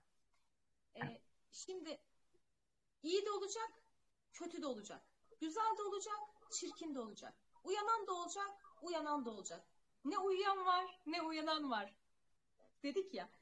Herkes her şekilde, her oluş olduğu haliyle muha, muazzam, muhteşem ve mükemmel ve tam, gerçekten tam. Sadece hayatın içinde biz bunu e, çizeceğim. Çok seviyorum bunu. Çizmek istiyorum. Şu bir dere. Bunun içinde de bu suyun insan olduğunu düşün. Bu evet. suyun içinde akmak gerekiyor. Bu hayat. Hayat pınarı gibi düşünün hayatın içinde, oluşun içinde sadece akmak. Şimdi su akarken şey diyor mu? Ama şurada taşlar var, çakıllar var. Şuradan da zıplayarak geçeyim ya da şuradan geçeyim. E, aman ben buradan akmasam da geri dönsem diyor mu? Demiyor. Hayır. Bunu diyen kim? İnsan. Biz zihnimizle ne yapıyoruz bu çokluk aleminde? E, alternatifler üretiyoruz, yorum yapıyoruz, yorumluyoruz. Ne yapıyoruz? Akışı tıkıyoruz. Hayatın içinde su gibi akıyor. Her şey buna insana dair. Her şey. Tüm varlık, tüm yaşam. Evet, Meral sormuş. Ayşen demiş ki, nefsem mutmain olmadan uyanmış olur mu kişi? İlmi bilgi yeterli mi? E, aslında şöyle cevap verebilirim. E, kendi kendim böyle bir şey deneyimlemedim. Ben çok çok geç uyandım yani e, normal insanlara göre. Yani bilinç olarak çok yükseğe çıktıktan sonra uyanışım gerçekleşti. Ben kalpte uyanmadım. Ha, birinci uyanışımdan bahsediyorum. E, ikinci uyanışım için konuşuyorum. E, mülhimede de mesela şey derler, tasavvuf ehilleri der ki e, bir mülhime yani kalp çakradan önce, mutmainden önce yani mülhimedeki marifet var. Biz buna arif deriz. Bir de mutmainden sonraki e, şey var, marifet var. Biz buna arifi billah deriz. Yani olabildiğini söylüyorlar. Tasavvuf hmm. alimleri. Bak bunu bilmiyordum ben. Çok güzel oldu bu. Elif demiş ki Evet Elif demiş ki cennet cehennem bu dünyadaysa ahiret inancı hesap sorucu olarak Allah yeter. Kısacası uyanmış kişi ölünce ne oluyor? Uyanmadan ölenler ne oluyor? İnanç Hanım hepsi şu an, şimdi, burada, anda. Eğer siz hayatı keyifle, neşeyle, aşkla, kendi cennetinizi, zahirinizde kendi cennetinizi kurarsanız, duygularınızı, düşüncelerinizi, zihninizi idrak edip, kendi merkezinize oturursanız ve onlar üzerinde kontrol sağlayabilirseniz siz cennettesiniz. Daimi huzur alanındasınız. O da burada. Cennet nedir? Ee, işte helal helalle hani İslami inanca göre konuşuyorum. İşte helal davranışlar ve farzlarını yerine getirirsen ne yaparsın? Cennete gidersin. Gerçi burada da ikilik var ama anlatacağım orayı. E, ne oldu? Burada bir e, cennet kavramı oluşturdu. Öbür tarafta da e, cennetin olduğu yerde sevaplar var dedik ya. Sevap neydi? Aslında sevap dediğimiz şeyler bizim frekansımızı ve titreşimizi yükselten şeyler. Kor, e, korku, acı, kurban bilinci, ayrılık, nefret e, bunların hepsi de aslında haram. E, bunları yaşayan insan nerededir? Cehennemdedir. Zihnin içinde sürekli düşünceleri olan, geçmişte olan ve gelecekte olan, ya geçmişte giden ya geleceğe giden insan nerededir? Cehennemdedir. Geleceği düşünür, kaygılanır. Geçmişi düşünür, e, efkarlanır. Ne yaptı? Duyguların hükmünde, duygular ve düşünceler aleminde olduğumuz anda biz cehennemdeyiz. Hepsi şimdi burada. Ahiret de burada. Bana diyor Hazreti Muhammed dünyanızdan üç şey sevdirildi. Neydi? İşte güzel koku, ee, başka bir şey daha neydi? Ben... Güzel koku, kadın ve şey. Neyse. Burada cümle zaten başında. Bana dünyanızdan diyor bakın. Dünyamdan demiyor. Dünyadan geçmiş, terki dünya etmiş. Dünyadan geçmek ne demek? Bu arada ben bunları anlatırken ha, fakir fakrınızla övünün demiyorum. Yani fakirlik halinde olun, her şeye yüz çevirin demiyorum. Sadece akışta gelenle yetinin. Hayır, hayır o da değil. Sadece onlara olan bakış açınızı değiştirin. Onlara bağımlılığınızı değiştirin. Bağımlı olduğumuz her şey bizim putumuz. Her şeyi put ediniyoruz. Çocuklarımızı put ediniyoruz. Evimizi put ediniyoruz. Arabamızı put ediniyoruz kendimize. İslamiyeti ve kuralları put ediniyoruz. Tasavvufu put ediniyoruz. Mürşidi put ediniyoruz. Bunların hepsi put. Arkadaşımız cevap vermiş.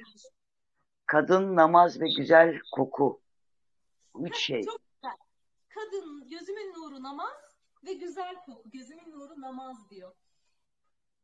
Şimdi namaz Şimdi namaz inşallah, namaz Ayşen konuyu konuyu dağıtacak gibi oldu, olacağım ama geçen hafta aklıma geldi. Dedim ki frekansı dedim e, gül su, şey gül yağı e, yükseltiyor ya. Nerede okudum ya da duydum bir yerde duydum herhalde. Bizim gruptaki sohbetlerde e, işte şu e, burun deliklerinin buraya işte gül e, yağı böyle sürün yatarken işte frekans güzel olur falan diye duydum ben. E, ışıkta kapalı, gözümde kapalı. Elimde komodinin çekmecesini açtım. Zaten o küçük şeylerin içinde ya Ben almıştım o kokulardan. Ondan sonra aldım böyle. Onlarda da bir de damla şeyi var böyle hani damlatıyorsun böyle sürüyorsun ya. Aldım böyle kapağını açtım süreceğim. E, komple ağzı açık naneymiş. Yuttum mu? Her tarafım nane yağı oldu mu? Sabaha kadar yandım yandım kavruldum yatamadım. Çok güzel. Ben göbek deliğime bu şey e, zamanda 2016 yıllarında aldığım eğitimler vardı. O dönemlerde kokularla işte bu yağlarla ilgili de bir şey bilgim vardı. Mesela göbek deliğime şey sürerim. Gül yağı sürerim. Hmm. İyi ki göbek deliğime sürmedim nane yağını yakardım. Yani yandım. Gerçekten frekansı yükselten bir yağ. Gerçek olmasına dikkat ederlerse frekansı yükselten bir yağ. Evet. E İşte ne yapacağız? Oyalanacağız. Başka bir şey yok. Yani zihin ne yapıyor? Durmuyor. Aynen Durmuyor. öyle. Sana. Çikolatalı Melek demiş ki merhabalar. Ee, Marco her şeyin kendinden açığa çıktığını idrak edip kalbinde kabule geçmesi artık iyi kötü ayrımın olmaması demiş asıl olan. Gönül nefsine sağlık açıklamalar aynen doğru demiş. Ayşe ise gündüz kuantum ile ilgili yeni bir video olsa da izlesem diyordum karşıma çıktınız demiş. Marco alemlerin aslı hayaldir. Ee, e Tuğbe sormuş yayının amacı nedir? Yayının amacı insanın hakikatini sorgulamak efendim. Esra. Esra ise hologram bedeni algılamak nasıl demiş oluyor. Çok güzel de bir soru mesela. Şöyle Yani yapalım. nasıl bir deneyim? Ondan sonra nasıl oluyor? O, o esnada insan korkuyor mu? Nasıl bir duygu geliyor? Ben de mesela öğrenmek isterim. Hologram evren. Hologram evren. Evet. Bu bir şey e, nasıl diyeyim? E, evrenin hologram evren olduğunun e, bilim adamları bunun üzerine çalışmalar yaptılar. E, bu şöyle yapalım. Eğer nasip olursa önümüzdeki hafta eğer yayın yapabilirsek kuantum üzerinden anlatalım olur mu? Artık e, üç boyutu değil aşk boyutunu ve sonrasını anlatalım ama onu kuantum olarak anlatalım. Yani kuantumla insanın hakikatini anlatalım. Açalım onu. Hani o bir iki cümleyle anlatılabilecek kadar şey değil. Yani onun için atom Haftaya. anlatmam lazım, atom altı parçacıkları anlatmam lazım, Tamam. e, Bunu not şöyle alıyorum ben. deneyini anlatmam lazım, parçacık deneyini anlatmam lazım. Anlatabiliyor muyum? Esracığım, e, YouTube'dan soran arkadaşımız hologram bedeni algılamak, hologram bedeni algılamak e, haftanın e, sorusu. Haftaya ben yokum. E, bir sağlık problemiyle ilgili seyahat etmem gerekiyor. Ama programımız olacak. Haftaya Perşembe günü sa- e, saat yine 9'da e, Reyhan'la Ayşen program yapacak. E, ama ben yine geleceğim e, problemimi, sağlık problemimi halledeceğim. Hemen geleceğim tekrar inşallah. E, notumu aldım. E, Mustafa Karaca demiş ki soru bulamıyorum demiş. Johnson. E, Marco aslında kişi kendinin farkında olmalı demiş. Şifa yolu muhteşem. E, güzel ahlak. Hakikat her an bir şendedir. Bizler bunu zanlarımızla örttüğümüz için ikilikteyiz. Muhabbetle e, işte iki, hakikatimize geliriz demiş. Çok güzel söylemiş. Şengülen teşekkür etmiş size. Bekir de teşekkür etmiş. E, şifa yol demiş. Göbek deliğinize pamuğa damlatıp gül yağını koyun demiş. Teşekkür ederim. Çok güzel bir tavsiye yapacağım. E, Emir sizleri seviyorum. Esra demiş ki bedene, bedene dışarıdan bakmak gibi bir şey mi demiş uyanış. Gibi diyelim ama onu da kapsıyor. Yani e, öz bütün düşünün bu görünen görünmeyen yaşamın ilk varoluşundan bu ana kadar bütün varlık alemini açığa çıkarıyor. E, ve siz o noktadan e, özün sizden tecellisini izliyorsunuz aslında. Önce gözlemci olduğunuzu idrak ediyorsunuz. Sonra diyorsunuz ki gözlenen var. Bir dönem onu yaşıyor, yaşadım. Yani kendi deneyimimi anlatıyorum. Sonra belli bir noktadan sonra artık gözlenenle gözlemci bir, onu kapsamış, ayrılık kalmamış oluyor. Yani siz eskiden yaptığınız e, yaşama bakış şekliniz sadece artık gerçekten e, böyle seyir, rahmet. Bakıyorsunuz ki ne değiştirecek bir şey var, ne düzeltilecek bir şey var. Her şey olduğu gibi çok kıymetli. Her şey sadece Allah'ın bu alemde sıfat ve fiillerinin tecellisi insan da onun tecelligahı. Yani kendisinin bir prototipini burada yaratmış, kendi esma terkiplerini yüklemiş, kendini burada bilmek istiyor, bilinmek istiyor. O yüzden diyor ben size şah damarınızdan daha yakınım. Aynen.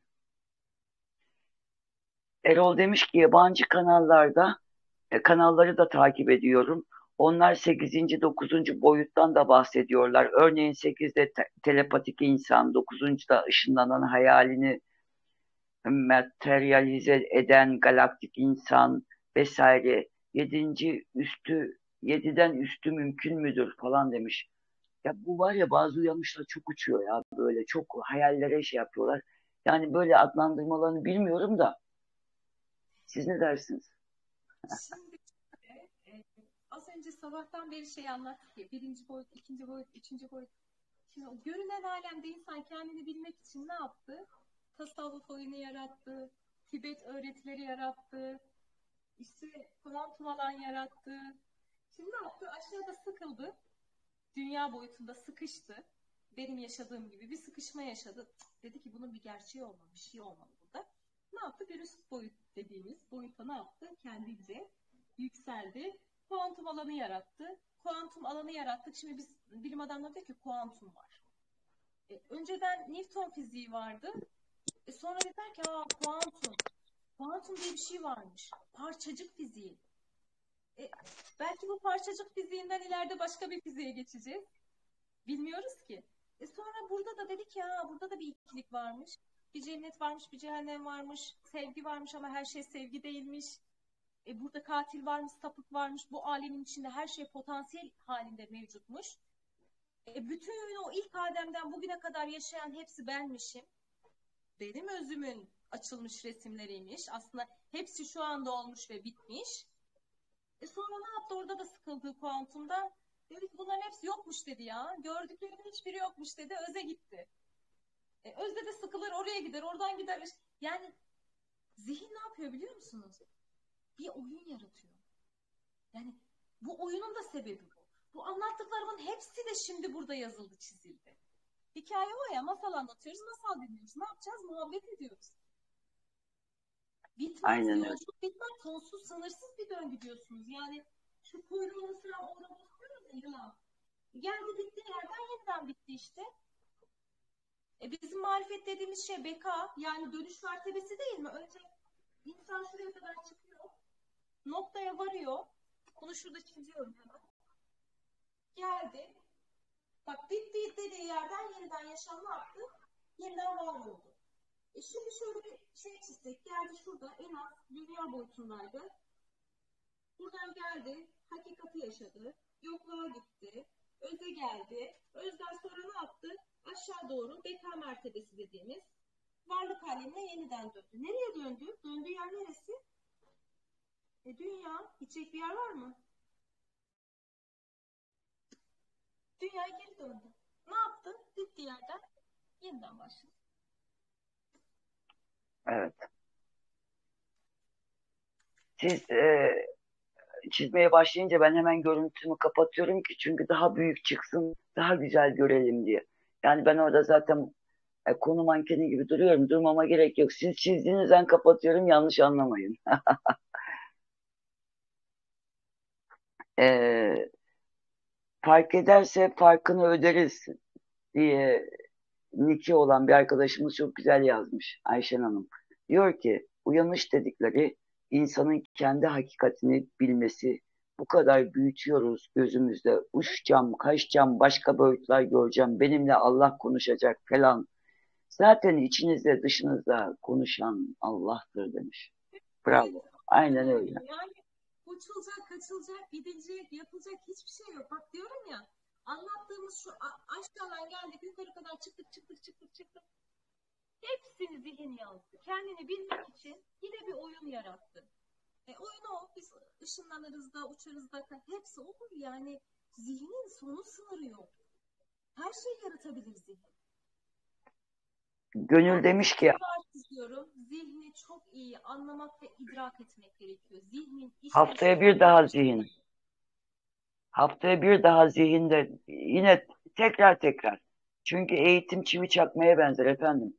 Ee, devamlı aynı şeylerle böyle farklı farklı kelimelerle anlatmak, farklı örneklerle anlatmak idraki daha çok açar. Ve bir şekilde bir bakarsınız, aa hiç anlamadığım şeyleri anlamaya başlamışım. Tıkır tıkır ondan sonra açılıyor idrakler. Gönül demiş ki Ayşen genç ve bilgiye bravo demiş. Teşekkür ederim. Erol demiş çok yararlı bir program oldu. Ee, teşekkür etmiş emeklerine. Ee, Mustafa Yakin gelene kadar ibadet et diyor. Demek ki boyut olarak çok yüksek şuurda olan peygamber namazda yakin gelene kadar ibadet edin diyor. Bahsettiğinin aslı hakikat diyor. Hani e, hakikatte işte ibadetin tabi ibadet nedir? Sevgiyi yüceltir, o duyguları verir, sevgi enerjiyi yükseltir. Mustafa Bey çok haklısınız.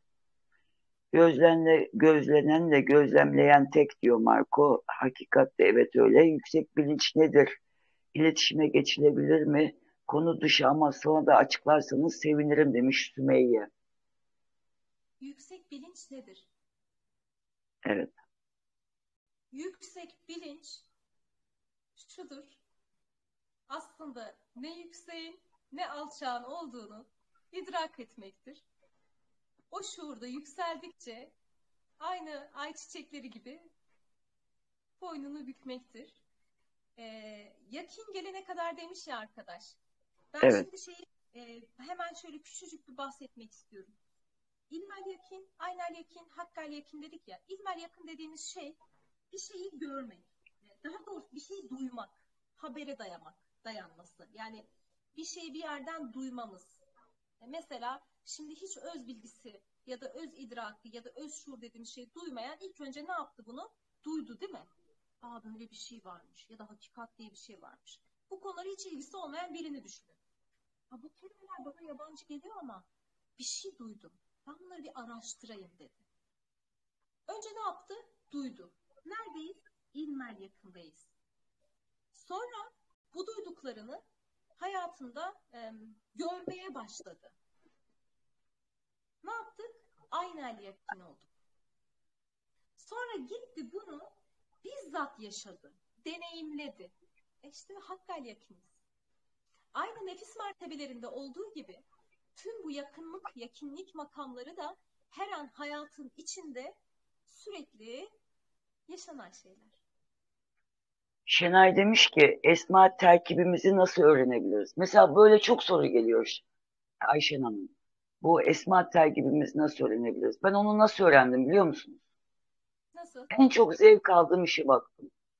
Ben hayatta dedim en çok neyden zevk alıyorum? Hani herkes mesela bana şey diyorlar böyle. Herkes derken yani herkes değil tabii ki bazı insanlar. Ya sen ne saçmalıyorsun? Senin dört tane çocuğun var. İşte 18 tane yaşlıya bakıyorsun. Hani işte millet için işte bu kadar koşturmana değer mi? Ya benim e, esmam bu. Yani ben e, zevk alıyorum. Öğrenmekten zevk alıyorum. Öğretmekten zevk alıyorum. E, ben paylaşmaktan zevk alıyorum. E, işte yani böyle bir anaç yapımın olması benim bir esmam. Ben e, 12 yaşındayken de 6 yaşındaki çocukları korurdum. Hani bu benim e, bir yapım.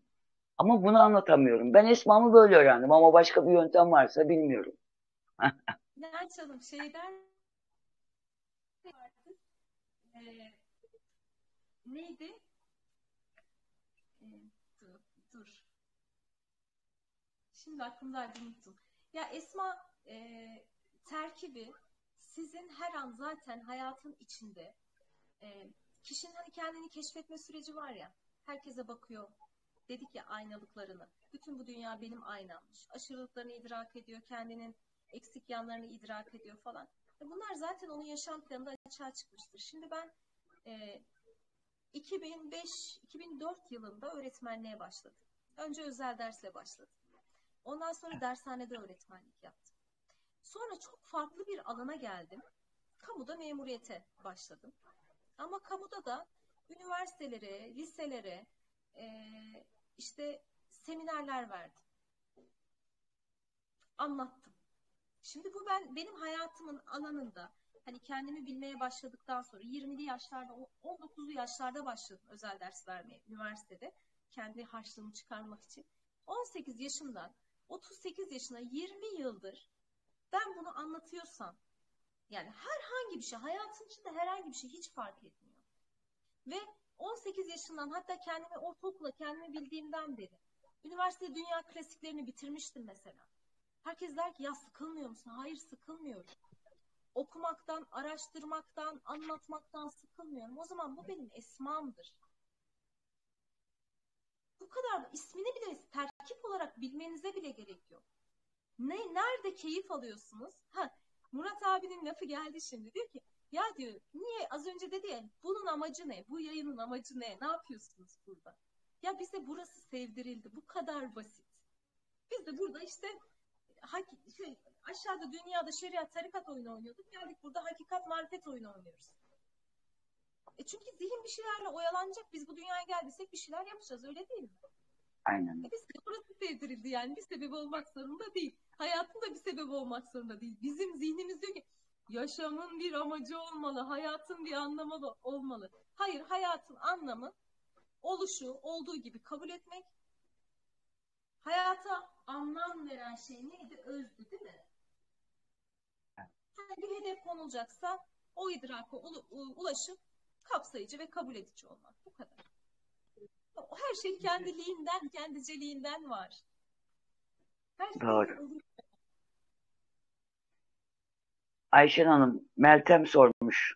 Ee, neresi yarım kaldı anlamadım ama belki senin aklındadır. Kadın gözümün nuru namazla ilgili bir soru gelmişti. Yarım kaldı. Lütfen o sorunun cevabını verir misiniz? Neresinin Hangisi? cevabı? Meltem soruyu bir daha yaz canım benim. Sen soruyu net bir daha yaz. Ben tekrar sorarım. Hani bu dünyada üç şey sevdirildi. Kadın, gözümün nuru, namaz ve koku. Benim burada anlatmak istediğim namaz, oruç ya da güzel koku ya da kadın değil. Burada anlatmak istediğim şey onları da tefekkür ederiz. Onları da ben burada masa olarak anlatırım. Uydururum. İnşallah kalıbına da uyar. Yani çünkü yorum yani benim yapacağım şey ya da şu an sizin yaptığınız şey sadece bizim yorumumuz olabilir. E, yorum olduğunda da ikiliktesin. E, bu bana göre. E, belki başkası baş, kendisine göre farklı bir yoruma girecek. Yanlış diyebilir miyiz? Yok, mutlak doğru diye bir şey yok ki.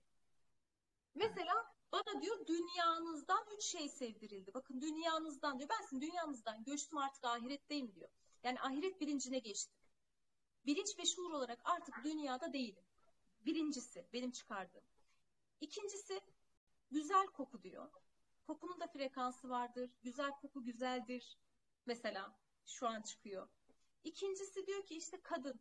Gözümün, e, üçüncüsü de işte gözümün nuru namaz diyor birinci olarak da.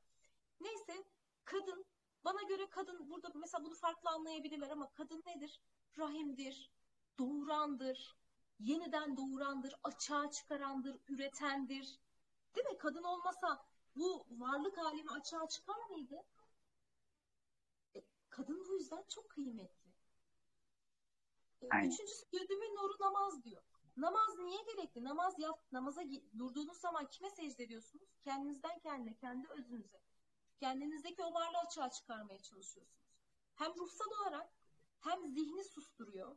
Değil mi? Namazda bir kendinize zaman ayırıyorsunuz. Zihni susturmuş oluyorsunuz. E, o anda zihni susturabilirseniz huzur açığa çıkıyor. E, onun dışında bedensel olarak da faydası var. Ha, bana sorarsanız ister yoga yapsınlar, ister namaz kılsınlar benim için e, bedenen de ruhen de her ikisi sizi rahatlatıyorsa yani siz nerede huzurluysanız O sizin için kıymetlidir, o sizin için e, güzeldir yani. Çok güzel ifade ettin. Şengül, Şengülen demiş ki marifette karşımızdaki yanarken her şeyi anlatmak istiyorum. Çenemi zor tutuyorum. Çok üzülüyorum. Ne yapmalıyım? Şengülen yapacağın şey e, çoğu videomuzun altında bizim e, grup linklerimiz var. Lütfen birisine gir. E, bizleri sor. Biz ve ben ve yönetimdeki herhangi birini mutlaka yardımcı olacaklardır. Gel sohbet et. Burada yayın açalım, konuşalım. E, grupta yayın açalım, orada konuş. Sen e, içindekilerini akıtmak zorundasın. E, akmak zorundasın. Bizim mecramız fikir platformu. Gönülle bu işi yapanların her zaman e, yerimiz var. E, gelebilirsin canım benim bizim gruba. Sen konuş biz dinleriz sadece. Hiçbir şey olmasa da konuş biz dinleriz. Teşekkürler. Esra demiş ki susmak ve izlemek meditasyon gözlemciyi fark etmeyi kolaylaştırır değil mi demiş.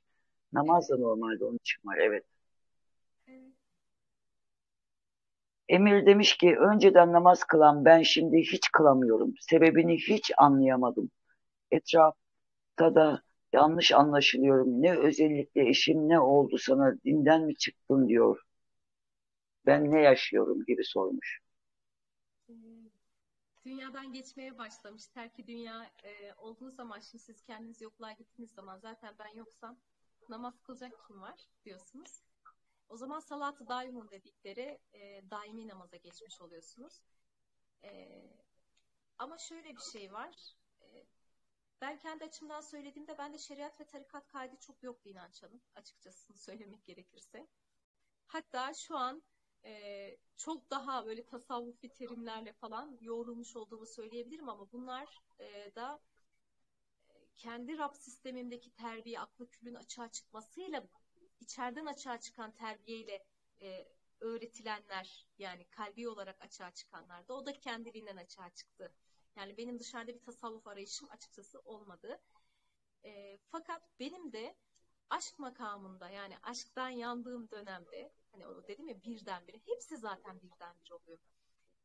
E, o aşk makamında yandığım dönemde herhalde hiç kılmadığım kadar namaz kılmışımdır. Belki günlük 13 saat, 14 saat zaman zaten yok. Zamanı kaybediyorsunuz. Eşim beni bir gönderiyordu. Ben namaza bir durmuşum. Kafayı bir kaldırıyorum. Akşam olmuş. Yani anlatabiliyor muyum? Çok yoğun böyle bir namaz kıldığım dönemim oldu. E sonrasında yokluğa gitmeye başladıkça namaz kalmadı. istek kalmadı. Ama hiçbir şey kalmadı. Yani yok diyorsun ki zaten hiçbir şey yok. Gördüğün hiçbir şey gö yani burası rüya alemi. E, rüya alemi, misal alemi, masal alemi her ne dersen adına. E, o zaman hiçbir şey yoksa diyorsun kim ben yokum ki namaz kılayım. Sonra Allah'la Allah'ın varlığıyla daim olduktan sonra e, ehli der ki geri döndüğünüzde namaz kılmak hayırlıdır, güzeldir. E, Hazreti Muhammed de bunu yaptı. Amaç neydi? Hep sırat-ı müstakim üzere dost doğru yolda e, olmak adınaydı. Velhasıl böyle. Ama değiştirilmesi, dönüştürülmesi gereken hiçbir şey yok. Tekrar söylüyorum. E, şeytan mesela, şeytanı da değiştiremezsiniz. Siz şeytana olan bakış açınızı değiştirirsiniz.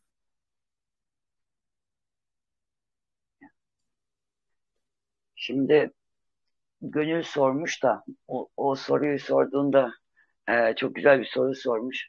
E, onunla ilgili bir anım anlatmak istiyorum. Demiş ki soru şu. İlmi e, Rabbani nedir? İlmi ledün nedir? Şimdi ben bu ilmi Rabbani'yi duydum tamam mı? Ayşen ilk. Nedir Aa, dedim, Rabbani? Nasıl? Nedir? Rabbin ilmi. Rab nedir? Bu dünyadaki yani yaratımı, bu dünyadaki işte şey ilmi. E, ilmi ledünde işte hakikatte bilmem bir şey işte öyle o, oradaki ilim. Şimdi duydum ben bunu ilmi Rabba, e, Rabbani'yi ama ilmi ledünü duymamıştım. İlmi Rabbani'yi duymuştum. Dedim ki aha dedim bir kelime daha uydurmuşlar dedim. Bak dedim bunun dedim ekmeğini yerler yerler dedim. 5-6 ay dedim ondan sonra bir kelime daha çıkar dedim. Çıktı ilmi ledün. Şimdi bekliyorum ilmi Sirius çıkacak. ilmi Jüpiter çıkacak. İlmi 9 çıkacak falan bir şeyler bekliyorum ben. Bu ilim takıları çok oldu çünkü. Nedir ilmi Rabbani ya da ilmi ledün? Aradaki fark nedir? Ee, ben dediğim gibi o kadar e, tasavvufi bilgiye bana bildirildiği kadar haizim. Ee, onun için şunu açıklayabilirim. Ee, Rab, Rab sistemi, hak sistemi, Allah sistemi, hu sistemi. Rab dediğimiz şey bizi terbiye edici olan, üst aklımız diyebiliriz, üst bilincimiz diyebiliriz. Sizi terbiye eder, ehlileştirir, öğretir, öğreticinizdir. Aklı küllün açığa çıktığı yerdir. Hak dediğimiz şey kişinin kendi vicdanıdır. Allah dediğimiz şey görünür ve görünmeyen, yani kuantum alan, madde alan, alan ve mana alemindeki görünen ve görünmeyen her şeydir. Bu varlık aleminde gördüğümüz her şey Allah'tır. Allah'tan geçiniz dedikleri yer. Orası hu dediğimiz yerde artık kişinin özünün, özün açığa çıktığı özdür. Yani öz artık. Son. Arayışın son bulduğu yerde hu açığa çıkar. Hu sistemi. Sistem nasıl işler?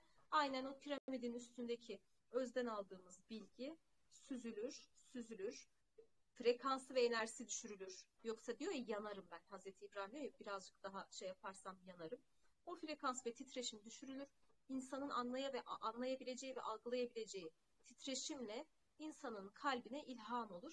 İlmi ledünü sadece içeride değil, bütün alemde de görebilirsiniz. Bugün işte az önce söylediğim kuantum bilgisi, ilmi ledün, fizik öğretisi, ilmi ledün, sizin aldığınız matematik öğretisi, ilmi ledün. Yani baktığınız zaman anlatabiliyor muyum? Biz ne yapıyoruz biliyor musunuz? Her şeye bir kutsallık atfediyoruz. Bu yolu kutsallaştırıyoruz, yolculuğu kutsallaştırıyoruz, hakkı, hakikati kutsallaştırıyoruz. E kutsallaştırdığınız her şey sizin putunuzdur. Kutsallaştırmak demek, putlaştırmak demek aslında baktığımızda. Böyle. Ee, Şenay e, çok güzel demiş, Gönül öyle demiş. Havva diyor ki, hocam şu an çok cehennem içindeki bir üzüntülü hissediyorum. Bir yıl önce eşim boşan, eşim boşanıp ortadan kayboldu. Yeni ortaya çıktı ve beni barış ve benimle barışmak ve ben barışmak istiyorum. Para kaybı olduğu için sen yoluna bak dedi. Acı çekiyorum. Vallahi hava bu soruyu ben uyanmamış olarak e, Ayşen Hanım da uyanmış olarak cevap verebilir. Ben sana abla tavsiyesinde bulunabilirim. E, kocan ilk bıraktığı insan sen hani kocanın bıraktığı Havva değilsin artık. O da bırakan adam değil artık. Şurada önemli olan o bir yıl içinde onun yaşadıkları onu sana gerçekten yaklaştırdı da e, çaresizlikten mi seni itiyor? Eğer öyleyse bence sarıl kucakla ama bahane mi uyduruyor? E, onu en iyi senin kendi enerjin bile tanır. Bahane uyduruyorsa e, çok fazla yanma kızım. E, biraz böyle kendini geri çek. Hayatına bak. Yani yolun sen istesen de istemesen de başka bir dönemece giriyor demektir. Orada bunu kabule geçip hakikatten e, yanmanı azaltabilirsin. Bu yanmanı ilahi aşka çevirebilirsin. İlahi aşka çevirip e, hakikatine gidebilirsin. Ama yargılama, senin yüzünden para kaybettim falan gibilerinden söyleme. Zavallı adamcağız zaten kendisi de yanmış bak kaybetmiş. Belki de utancından sana yaklaşamıyor. Öyleyse onu affettiğini hissettir derim ve sözü hakikatteki konuğumuz Ayşen Hanım'a bırakıyorum. Ee, İnanç Hanım önce uyanmış, uyanış oyun oynamayın. Gerçekten. Hoşuna gidiyor ama benim. tamam o zaman. Ee, ben de sadece derim ki kıymetli olan sensin, değerli olan sensin. Merkezine, kalbine dön ve kalbine sor. O yanlış cevap vermez. Evet. Yani her Şenay, şey değer, özgürlük ve şefkatle aynen. bitiyor. Bunları Gerçekten. inşa etmemiz. Yani mesela bazı ilişkiler oluyor Ayşen'ciğim bazı ilişkiler yok, oluyor. Hiç anlam veremiyorsun. Yani diyorsun ki ben olsam asla hani beraber olmam ya da tekrar barışmazdım falan. Hani yani e, bakıyorsun böyle. Sonra benim öyle dediğim insanlarda mesela bundan 15-20 sene önce bakıyorum o gözündeki pırıltı yok yok diyor. Bunlar diyor birbirine çok uyumlu.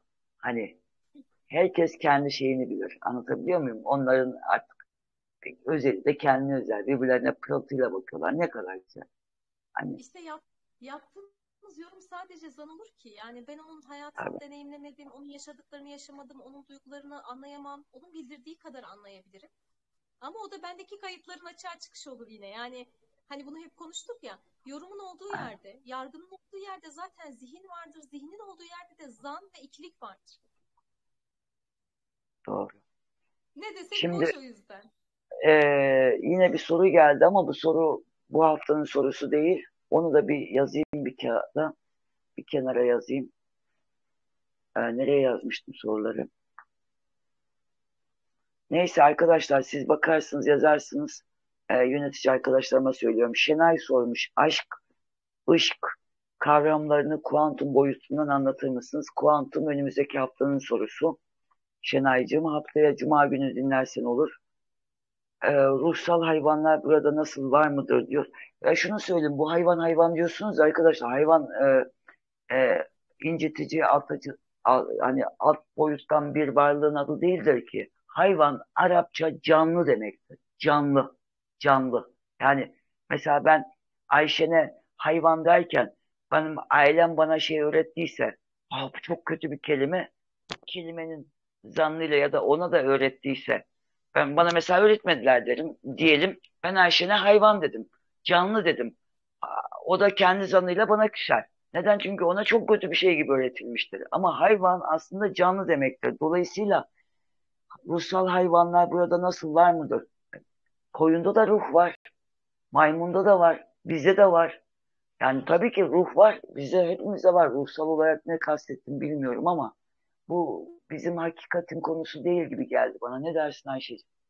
Ayşen'cim? Ya varlık alemi zahirde e, hepsi şey yani ruhlar alemi de hepsi burada diyoruz ya hani gidilecek ayrı bir yer yok yani. E, ruhsal hayvanlardan kastını ben de anlamış değilim ama mesela şeyi söyleyebilirim. Her insanın bir hayvani e, fıtrat kuramı ile ilgili hayvani bir sureti vardır. E, onun dışında cinler alemi var, başka varlıklar alemi bizim gördüğümüz gö e, varlıklar, ruhsal varlıklar vardır, enerjisel varlıklar. E, biz bu beden algısında belki algılamıyor ya da göremiyor olabiliriz. Belki frekansımız yükseldikçe görebiliriz. Ama onlar da dediğim gibi o yaşadığı dönemlerde kişinin geçtiği boyut, hal e, ve durumlardır. Çok önemli mi? E, yani olmalarında bence bir sakınca yok olabilir belki çok evet. daha gelişmiş üstteki varlıklar da vardır. Hani az önce arkadaş boyutlar boyutlar dedi olabilir. Doğrudur olabilir yani. Niye olmasın? Bu kadar varlık ve çeşitliliği yaratan Allah başka varlıklar yaratmayacak. Biz bizim gördüğümüz canlı madde olarak gördüğümüz varlık alemi varsa e, evet. öbür alemde mutlaka mana dediğimiz alemde farklı varlıklar vardır. Şenay demiş ki ilmi ledün varlıkta açığa çıkan her yaratılmışın bilgisi oluyor sanırım. Öyle mi Ayşen Hanım demiş. Her varlıkta açığa çıkan her yaratılmışın bilgisi. Ya şöyle oluyor. Hani il, belki buna ilmi ledün dersiniz ne derseniz deyin e, kişi artık o kalp makamına çıktıktan sonra yani o aşamaları geçtikten sonra kalp gözünün açılması dediğimiz bir şey var ya. Evet. E, gerçekten kişiyi okuyorsun. Yani halini okuyorsun, şuurunu okuyorsun, e, yaşadıklarını okuyorsun.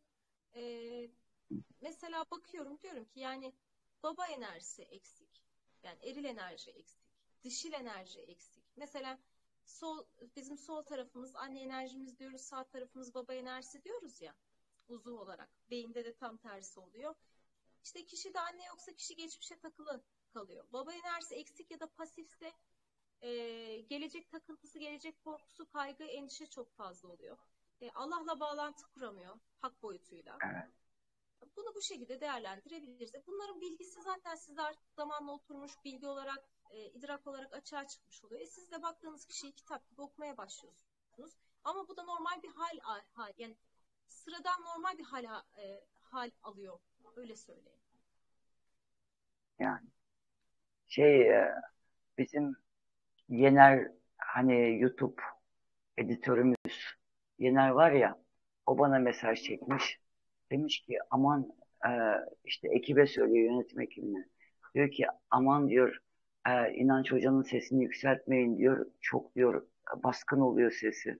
Onunki kısık olsun diyor ayarlarda. Ayşe hani sesimin kaba olduğunu söylemenin nazik yolunu bulmuş. Teşekkür ediyorum Yener'e. Ee, şey sormuş hocam demiş ki Habibe sormuş. Hakikat bilinci tam anlamıyla olmayan oğlum hiçliğini yaşamış bana anlattı. Her yerin yok olduğunu anlattı. Bu mümkün mü? Nasıl yaşadı? Şimdiden teşekkür ederim demiş cevabını.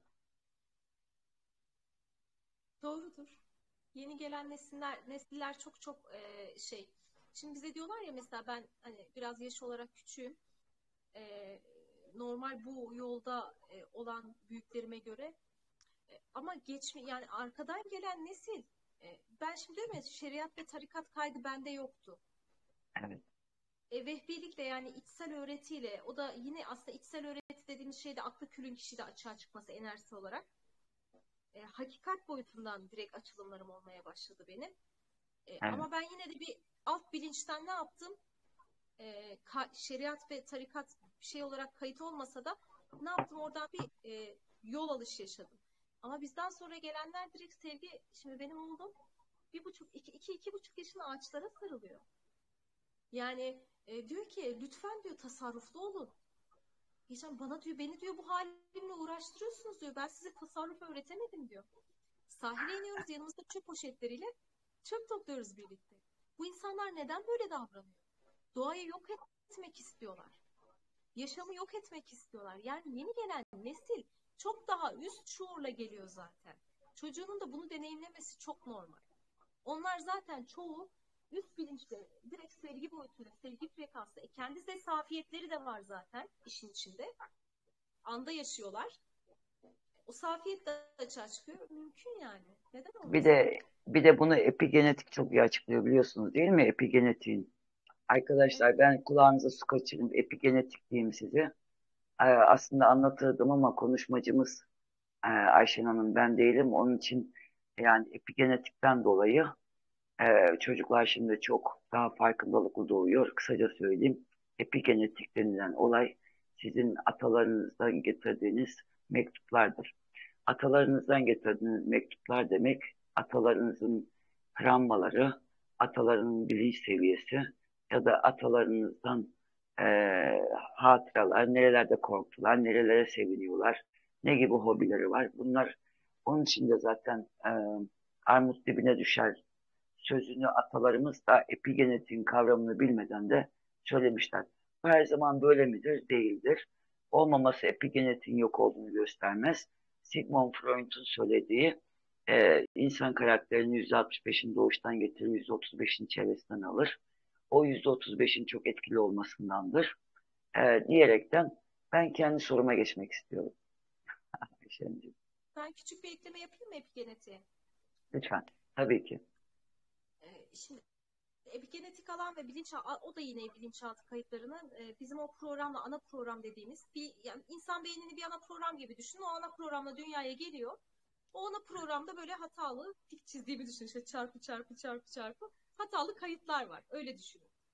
O ana programdan kişi sıkılıyor. Diyor ki işte yani benim RAM'i yükseltmem lazım. E, harici belleği yükseltmem lazım. Bu bilgisayara bir virüs programı eklemem lazım. Ne yaptı? Bilgisayarı virüs programa taşıdı. E, artık daha kolay işliyor. İnternete daha kolay giriyor.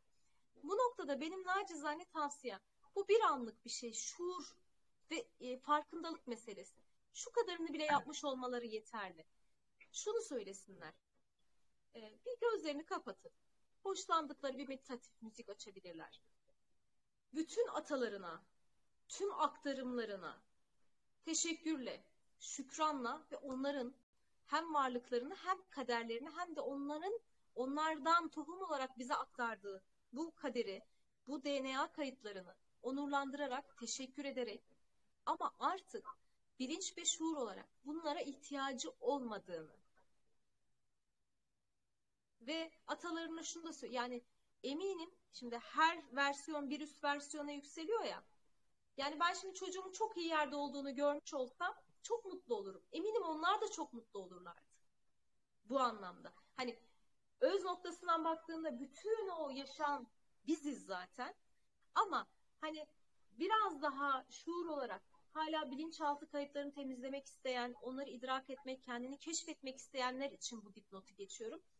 O anlamda bütün geçmiş kayıtlarını, atalarını onurla, şükranla e, yad edip, hatırlayıp o bütün bağ ve bağlantıları, o epigenetik alandaki tüm ve bağ, bağ, bağ bağlantı ve enerjisel e, bağlantıları kesiyorum. Ve kendi benliğimde ben olarak kaynıyorum. Ben, benim. Diyebilirler. Ben onu şöyle söylüyorum. Ee, diyorum ki Ayşen Hanım,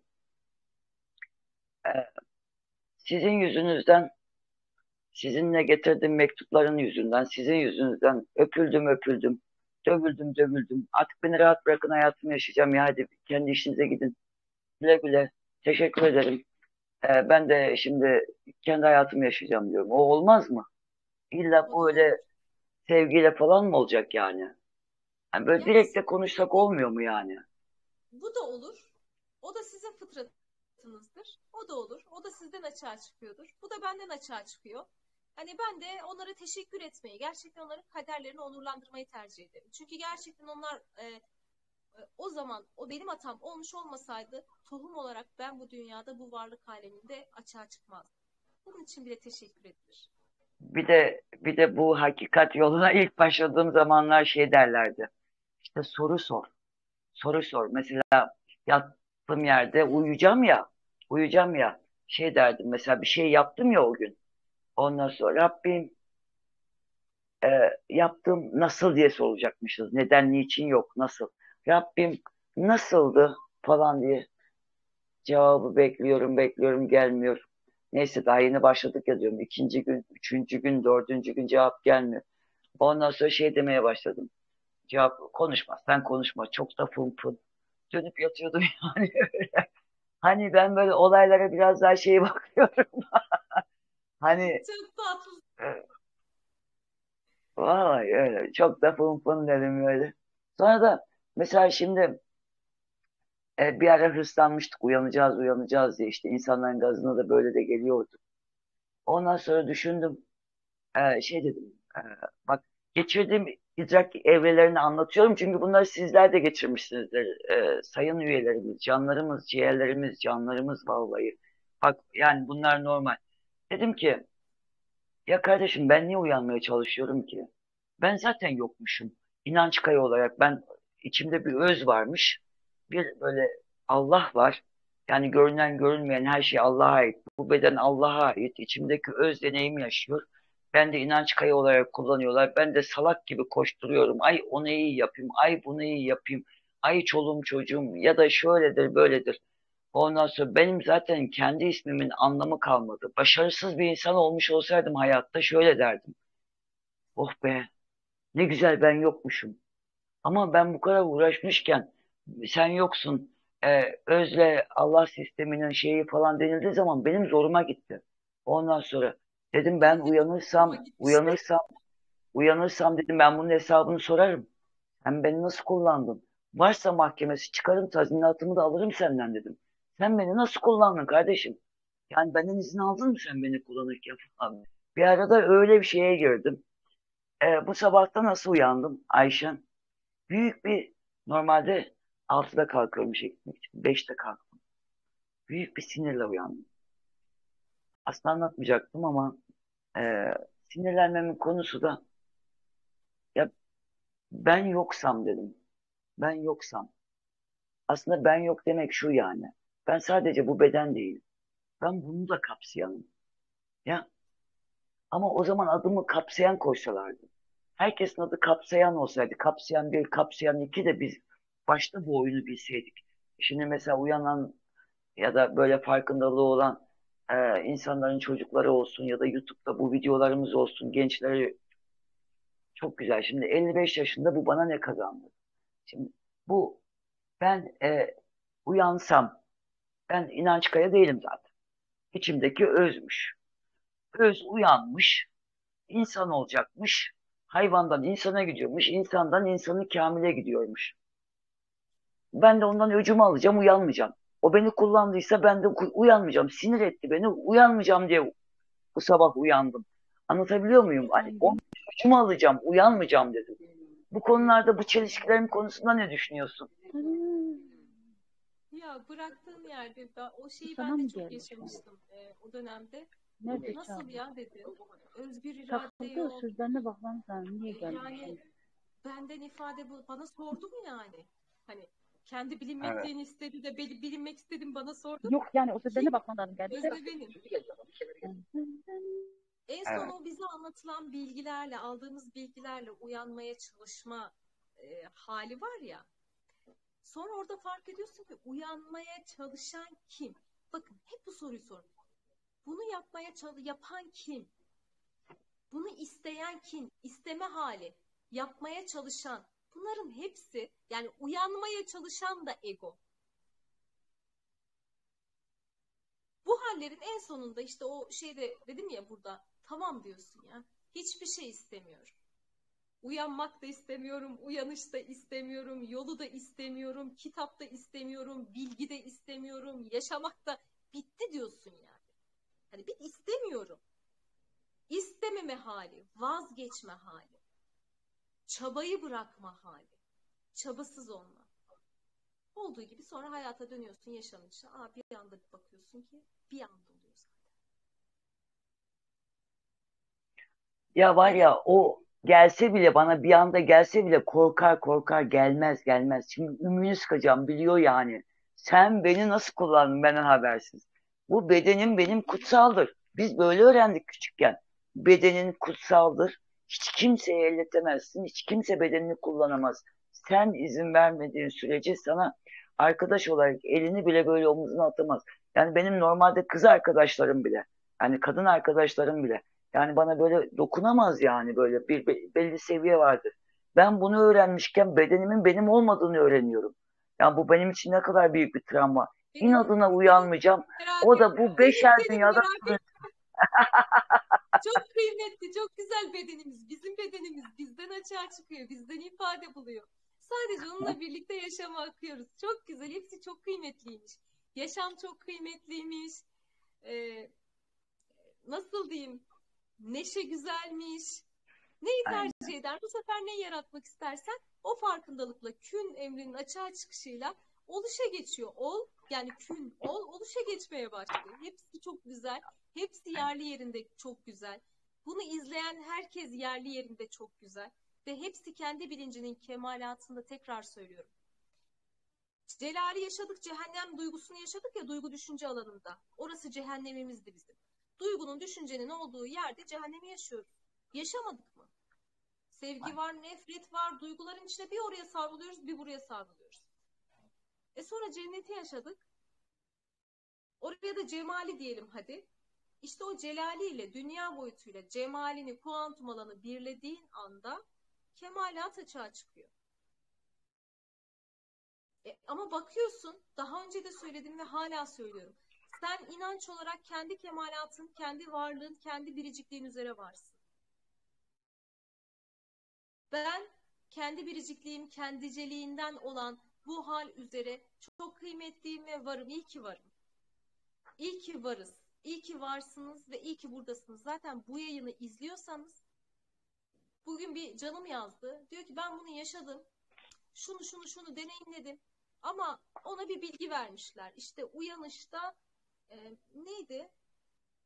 Hakikat e, kemalatının ondan açığa çıkışı bu şekilde olur gibi bir şey söylemişler. Peki ben bu uyanışı nasıl yaşayacağım? Bunu soran dedim kim? Bunun beklentisine giren, giren kim? Özne. Sen dedim zaten uyanmışsın. Hani bir uyanış oyunu oynuyorsak e, herkes uyanık. Hepimiz uyanırız. Uyuyan yok ki. Bu uyku ve uyanıklık halini normalde de deneyimlemiyor muyuz? Rüyaya Evet. yattık, uyuduk. Rüyada e, İnanç abla sen birini öldürdün, katil oldun. Kabustan kalktın, gözlerini açtın. Ne dersin? Oh, rüyaymış dersin, değil mi? Polis gelir alır mı seni? O anlamda düşündüğün zaman burası bu anlamda rüya alemi. Kişi kişi idrakında olduğu sürece bu şuurda, bu farkındalıkta o yani yüksel yani o, o bilinçte değilse hani gene ikilikten konuşmak zorundayım. Üzgünüm e, yaratılışın e, gerçeği ve hakikati bu. E, o noktadan baktığında e, ne yapıyor? Sorumlu değil. Sadece öz şuura ulaşmak, kendi merkezine oturmak demek. Kendinde saygıyı, sevgiyi yani öz sevgiyi, öz saygıyı, öz değeri, öz şefkati açığa çıkarıp tüm sistemleri kendinde birlemiş. Daha kapsayıcı, daha bütünsel, daha hoşgörülü. Ne bileyim isim de koymak istemiyorum ama bunlar yine kendiliğinden açığa çıkıyor zaten. E çünkü her şeyin sen, olduğunu idrak ettikten sonra kimseyle hiçbir e, varlıkla kavga kalmıyor. O savaş ya da kaç tekniği sende işlemiyor mesela. Sen onların hepsi üzerinde ne yapıyorsun? E, farkında oluyorsun. Aslında kontrol etmek bile e, yani kontrol edilebilir demek bile belki burada biraz e, baskı oluşturabilir. Aslında şey zihnine dost oluyorsun. Egona dost oluyorsun. Hepsi de yerli yerinde lazım zaten. Benim bu zihne, bu nefse, bu egoya zaten ihtiyacım var. Sadece yapıcı olarak e, onunla birlikte dost olmaya başlıyorsun. Böyle. Ayşegül e, işte aslında Kur'an'da cehennemle ilgili ayetler var demiş. Hani cehennem bu dünyadadır, hani öbür dünyada hani cehennem yoktur gibi hakikatte söylüyorsunuz ya. Diyor ki e, orada diyor mesela diyor Kur'an'da cen- şey cehennemle ilgili ayetler var diyor. Benim diyor bu konuda diyor kafam karıştı diyor. Hani senin fazla bir şeriat boyutunun hani o e, fazla olmadığını biliyorum. Onun için sana bilmediğim bir hani soru gibi de sormak istemiyorum. Hani bir, sadece birkaç tane ayet söyleyeceğim. Hani bir fikrin yoksa da hiç sıkıntı değil Ayşen Hanım. Diyor ki e, ayetler şöyle diyormuş. Bir tanesi der ki onun içine sinin ve benimle söyleşmeyin. Bir tanesi de hayır onlar kıyamet saatini yalanladılar. Biz kıyamet saatini yalan sayanlara çılgınca yanan bir ateş hazırladık. Güzel. Çok güzel çeviri olmuş gerçekten. Şimdi şöyle e, ne diyor? Hangi hal üzere ölürseniz o hal üzere dirilirsiniz. Doğru mu? Evet. Biz e, bu şuur ve bu idrakta e, doğrudur. Şimdi hangi hal üzere ölüyorsa o hal üzere de dirilecektir. O hesaba kitaba çeviri, şey, çekilecektir. Her batıninin yani hakikat açılımının aynı zamanda bir zahiri yansıması vardır. Doğrudur. E şimdi şeytan diyoruz. Şeytan e, varlık aleminde varlık olarak da yaratılmıştır. Değil mi? Ya da cinin Evet. açılımını yapıyor mesela e, Kur'an-ı Kerim'de diyor ki cin, onları diyor biz diyor e, dumansız ateşten yarattık. O da ateş aslında. E, insanı diyor çamurdan yarattık. Değil mi? Balçıktan yarattık diyor. E, orada sperm ve yumurtaya değiniyor aslında. Sizin şuurunuzla bakış açınıza bağlı. Kur'an-ı Kerim'de e, bakın ben burada şahitlik ediyorum ki hani eşhedü sırrıyla konuşuyorum şu an ve şahitlik ediyorum ki insan yaşayan canlı Kur'an'dır. Şu an sizin anlattığınız kitap Mushaf kitabı diye geçiyor. Fakat bu varlık aleminde bu varlığın oluşunu izlediğiniz yerde siz artık canlı Kur'an'ı izliyor, yaşıyor ve kendinizden açığa çıkarıyor oluyorsunuz. Aklı kül açığa çıktığında da ilm ile dün dedikleri işte ya da aklı kül dediğimiz, Cebrail bilinci dediğimiz, Cebrail'in Hazreti Muhammed'e öğrettiği gibi bu yol Muhammedi bilinçte, hani İsa bilinci dedik ya, madde mananın birlendiği yerde Muhammed'dir. Muhammed aynı zamanda bir şuur ve bilinçtir.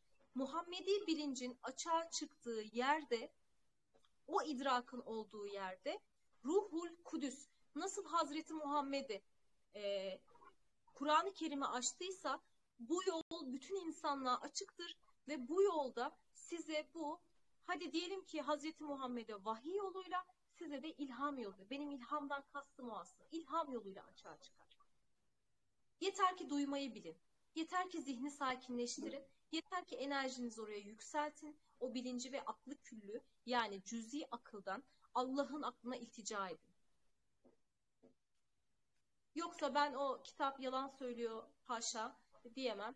O şuurda ve bilinçte, onun bilincinde, onun idrakında öyledir. Bugünkü şuurunda böyledir, yarınki şuurunda öyledir. Ha bu demek değil, Kur'an-ı Kerim'i değiştiriyor musunuz? Haşa. Sadece şuur ve bakış açısı orada değişiyor. Az önce söylediğim gibi bunların hepsi zihnimizle yaptığımız yorumlardır. Ben öyle anlarım, siz öyle anlarsınız. Mesela cilbap. Cilbaplarınızı bir önünüze alınız diyor ya Kur'an-ı Kerim'de. Bildiğim ve bana açılan kadarıyla konuşuyorum. Ee, cilbap aslında eskiden o şapka şeyi buradan aşağı böyle bir tül olurmuş. O tülü diyor. Önceden e, köleler e, göğsü, göğüs dekoltesi açık elbise giyerlermiş. Onları şu şekilde cilbaplarınızı e, önünüze alınız. Hani kapatınız. Ben bunu böyle idrak ettim, anladım. Başkası bunu kapanma ve örtünme olarak idrak eder. Yani bu 5000 yıl, 6000 yıl, belki kaç yıl bilmiyorum yazılmış bir kitap. Bugünün şuuruyla, bugünün bakış açısıyla, bugünün teknolojisiyle yani bu şey gibi bir şey. E, Kur'an değişmez ama bendeki şuur, benim şuurumda, bakış açımda idrakı ve yaşantımda uygulaması değişir. Ondan anladığım değişir. Kur'an-ı Kerim'den herkesin anladığı bir mi? Onlar olmasa zaten çeşitlilik ve farklılık olmazdı. Böyle. Doğru. Ve şimdi bizim e, Telegram grubundan Yadigar demiş uyanmayanlar farkındalıkla ölmüşse nasıl uyanacak? Emrah Emrah'ı biliyorsunuz. Onun da videoları var ya hani bizim YouTube kanalımızda. Emrah da demiş ki farkındalıkla tabii ki nasıl yaşarsanız öyle ölürsünüz. Nasıl ölürseniz öyle dirilirsiniz demiş. Satı demiş benim atalar meditasyonumu çok beğenmiş. Beraber yapalım demiş. Beraber var atam ata diye diye meditasyon yaparız herhalde. Ee, grupta seninle ilgili bayağı bir heyecan var. Ee, çok teşekkürler alıyorsun. Ben de çok heyecanlıyım. Ee, gerçekten e, çok güzel şeyler yazmışlar senin hakkında. Tekrar dönüyorum Telegram'a, şey YouTube'a bakıyorum.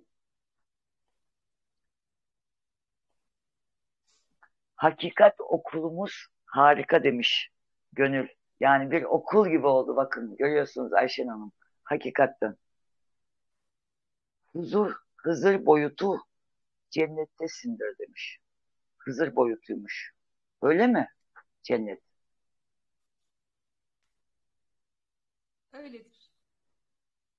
Yaratım ve kuantum boyut ilişkisi sorulabilir mi demiş. O işte kuantum önümüzdeki hafta. Ayşen Hanım çok teşekkür ediyoruz bu haftaki Ben sohbet için. ederim. Haftaya sırf kuantum. Ee, ekranda sadece siz olacaksınız. Tahtanız önünüzde olacak. Saat 21'de Perşembe günü YouTube'da ve Telegram grubunda hepimiz e, ben de inşallah internet bulursam açıp bakacağım mutlaka. E, bakalım ne açılımlar olacak. Şimdi siz Allah'ı severseniz hani görünen görünmeyen bütün alemi sevdiğinizde onlar da sizi seviyor. Aslında o sevgide karşılıklı dinleyen, yorumlayan, e, yorum yapan, iyi kötü hiç fark etmez. Hepsine gerçekten gönül, kucak dolusu sevgiler. Çok teşekkür ederim. Çok sağ Çok olun. teşekkür ederim. Sağ olun. Haftaya görüşmek üzere Ayşen Hanım. İyi akşamlar, Öpüyorum sevgiler, İyi akşamlar. hürmetler, Görüşürüz. sağ olun. Selametle. sağ olun.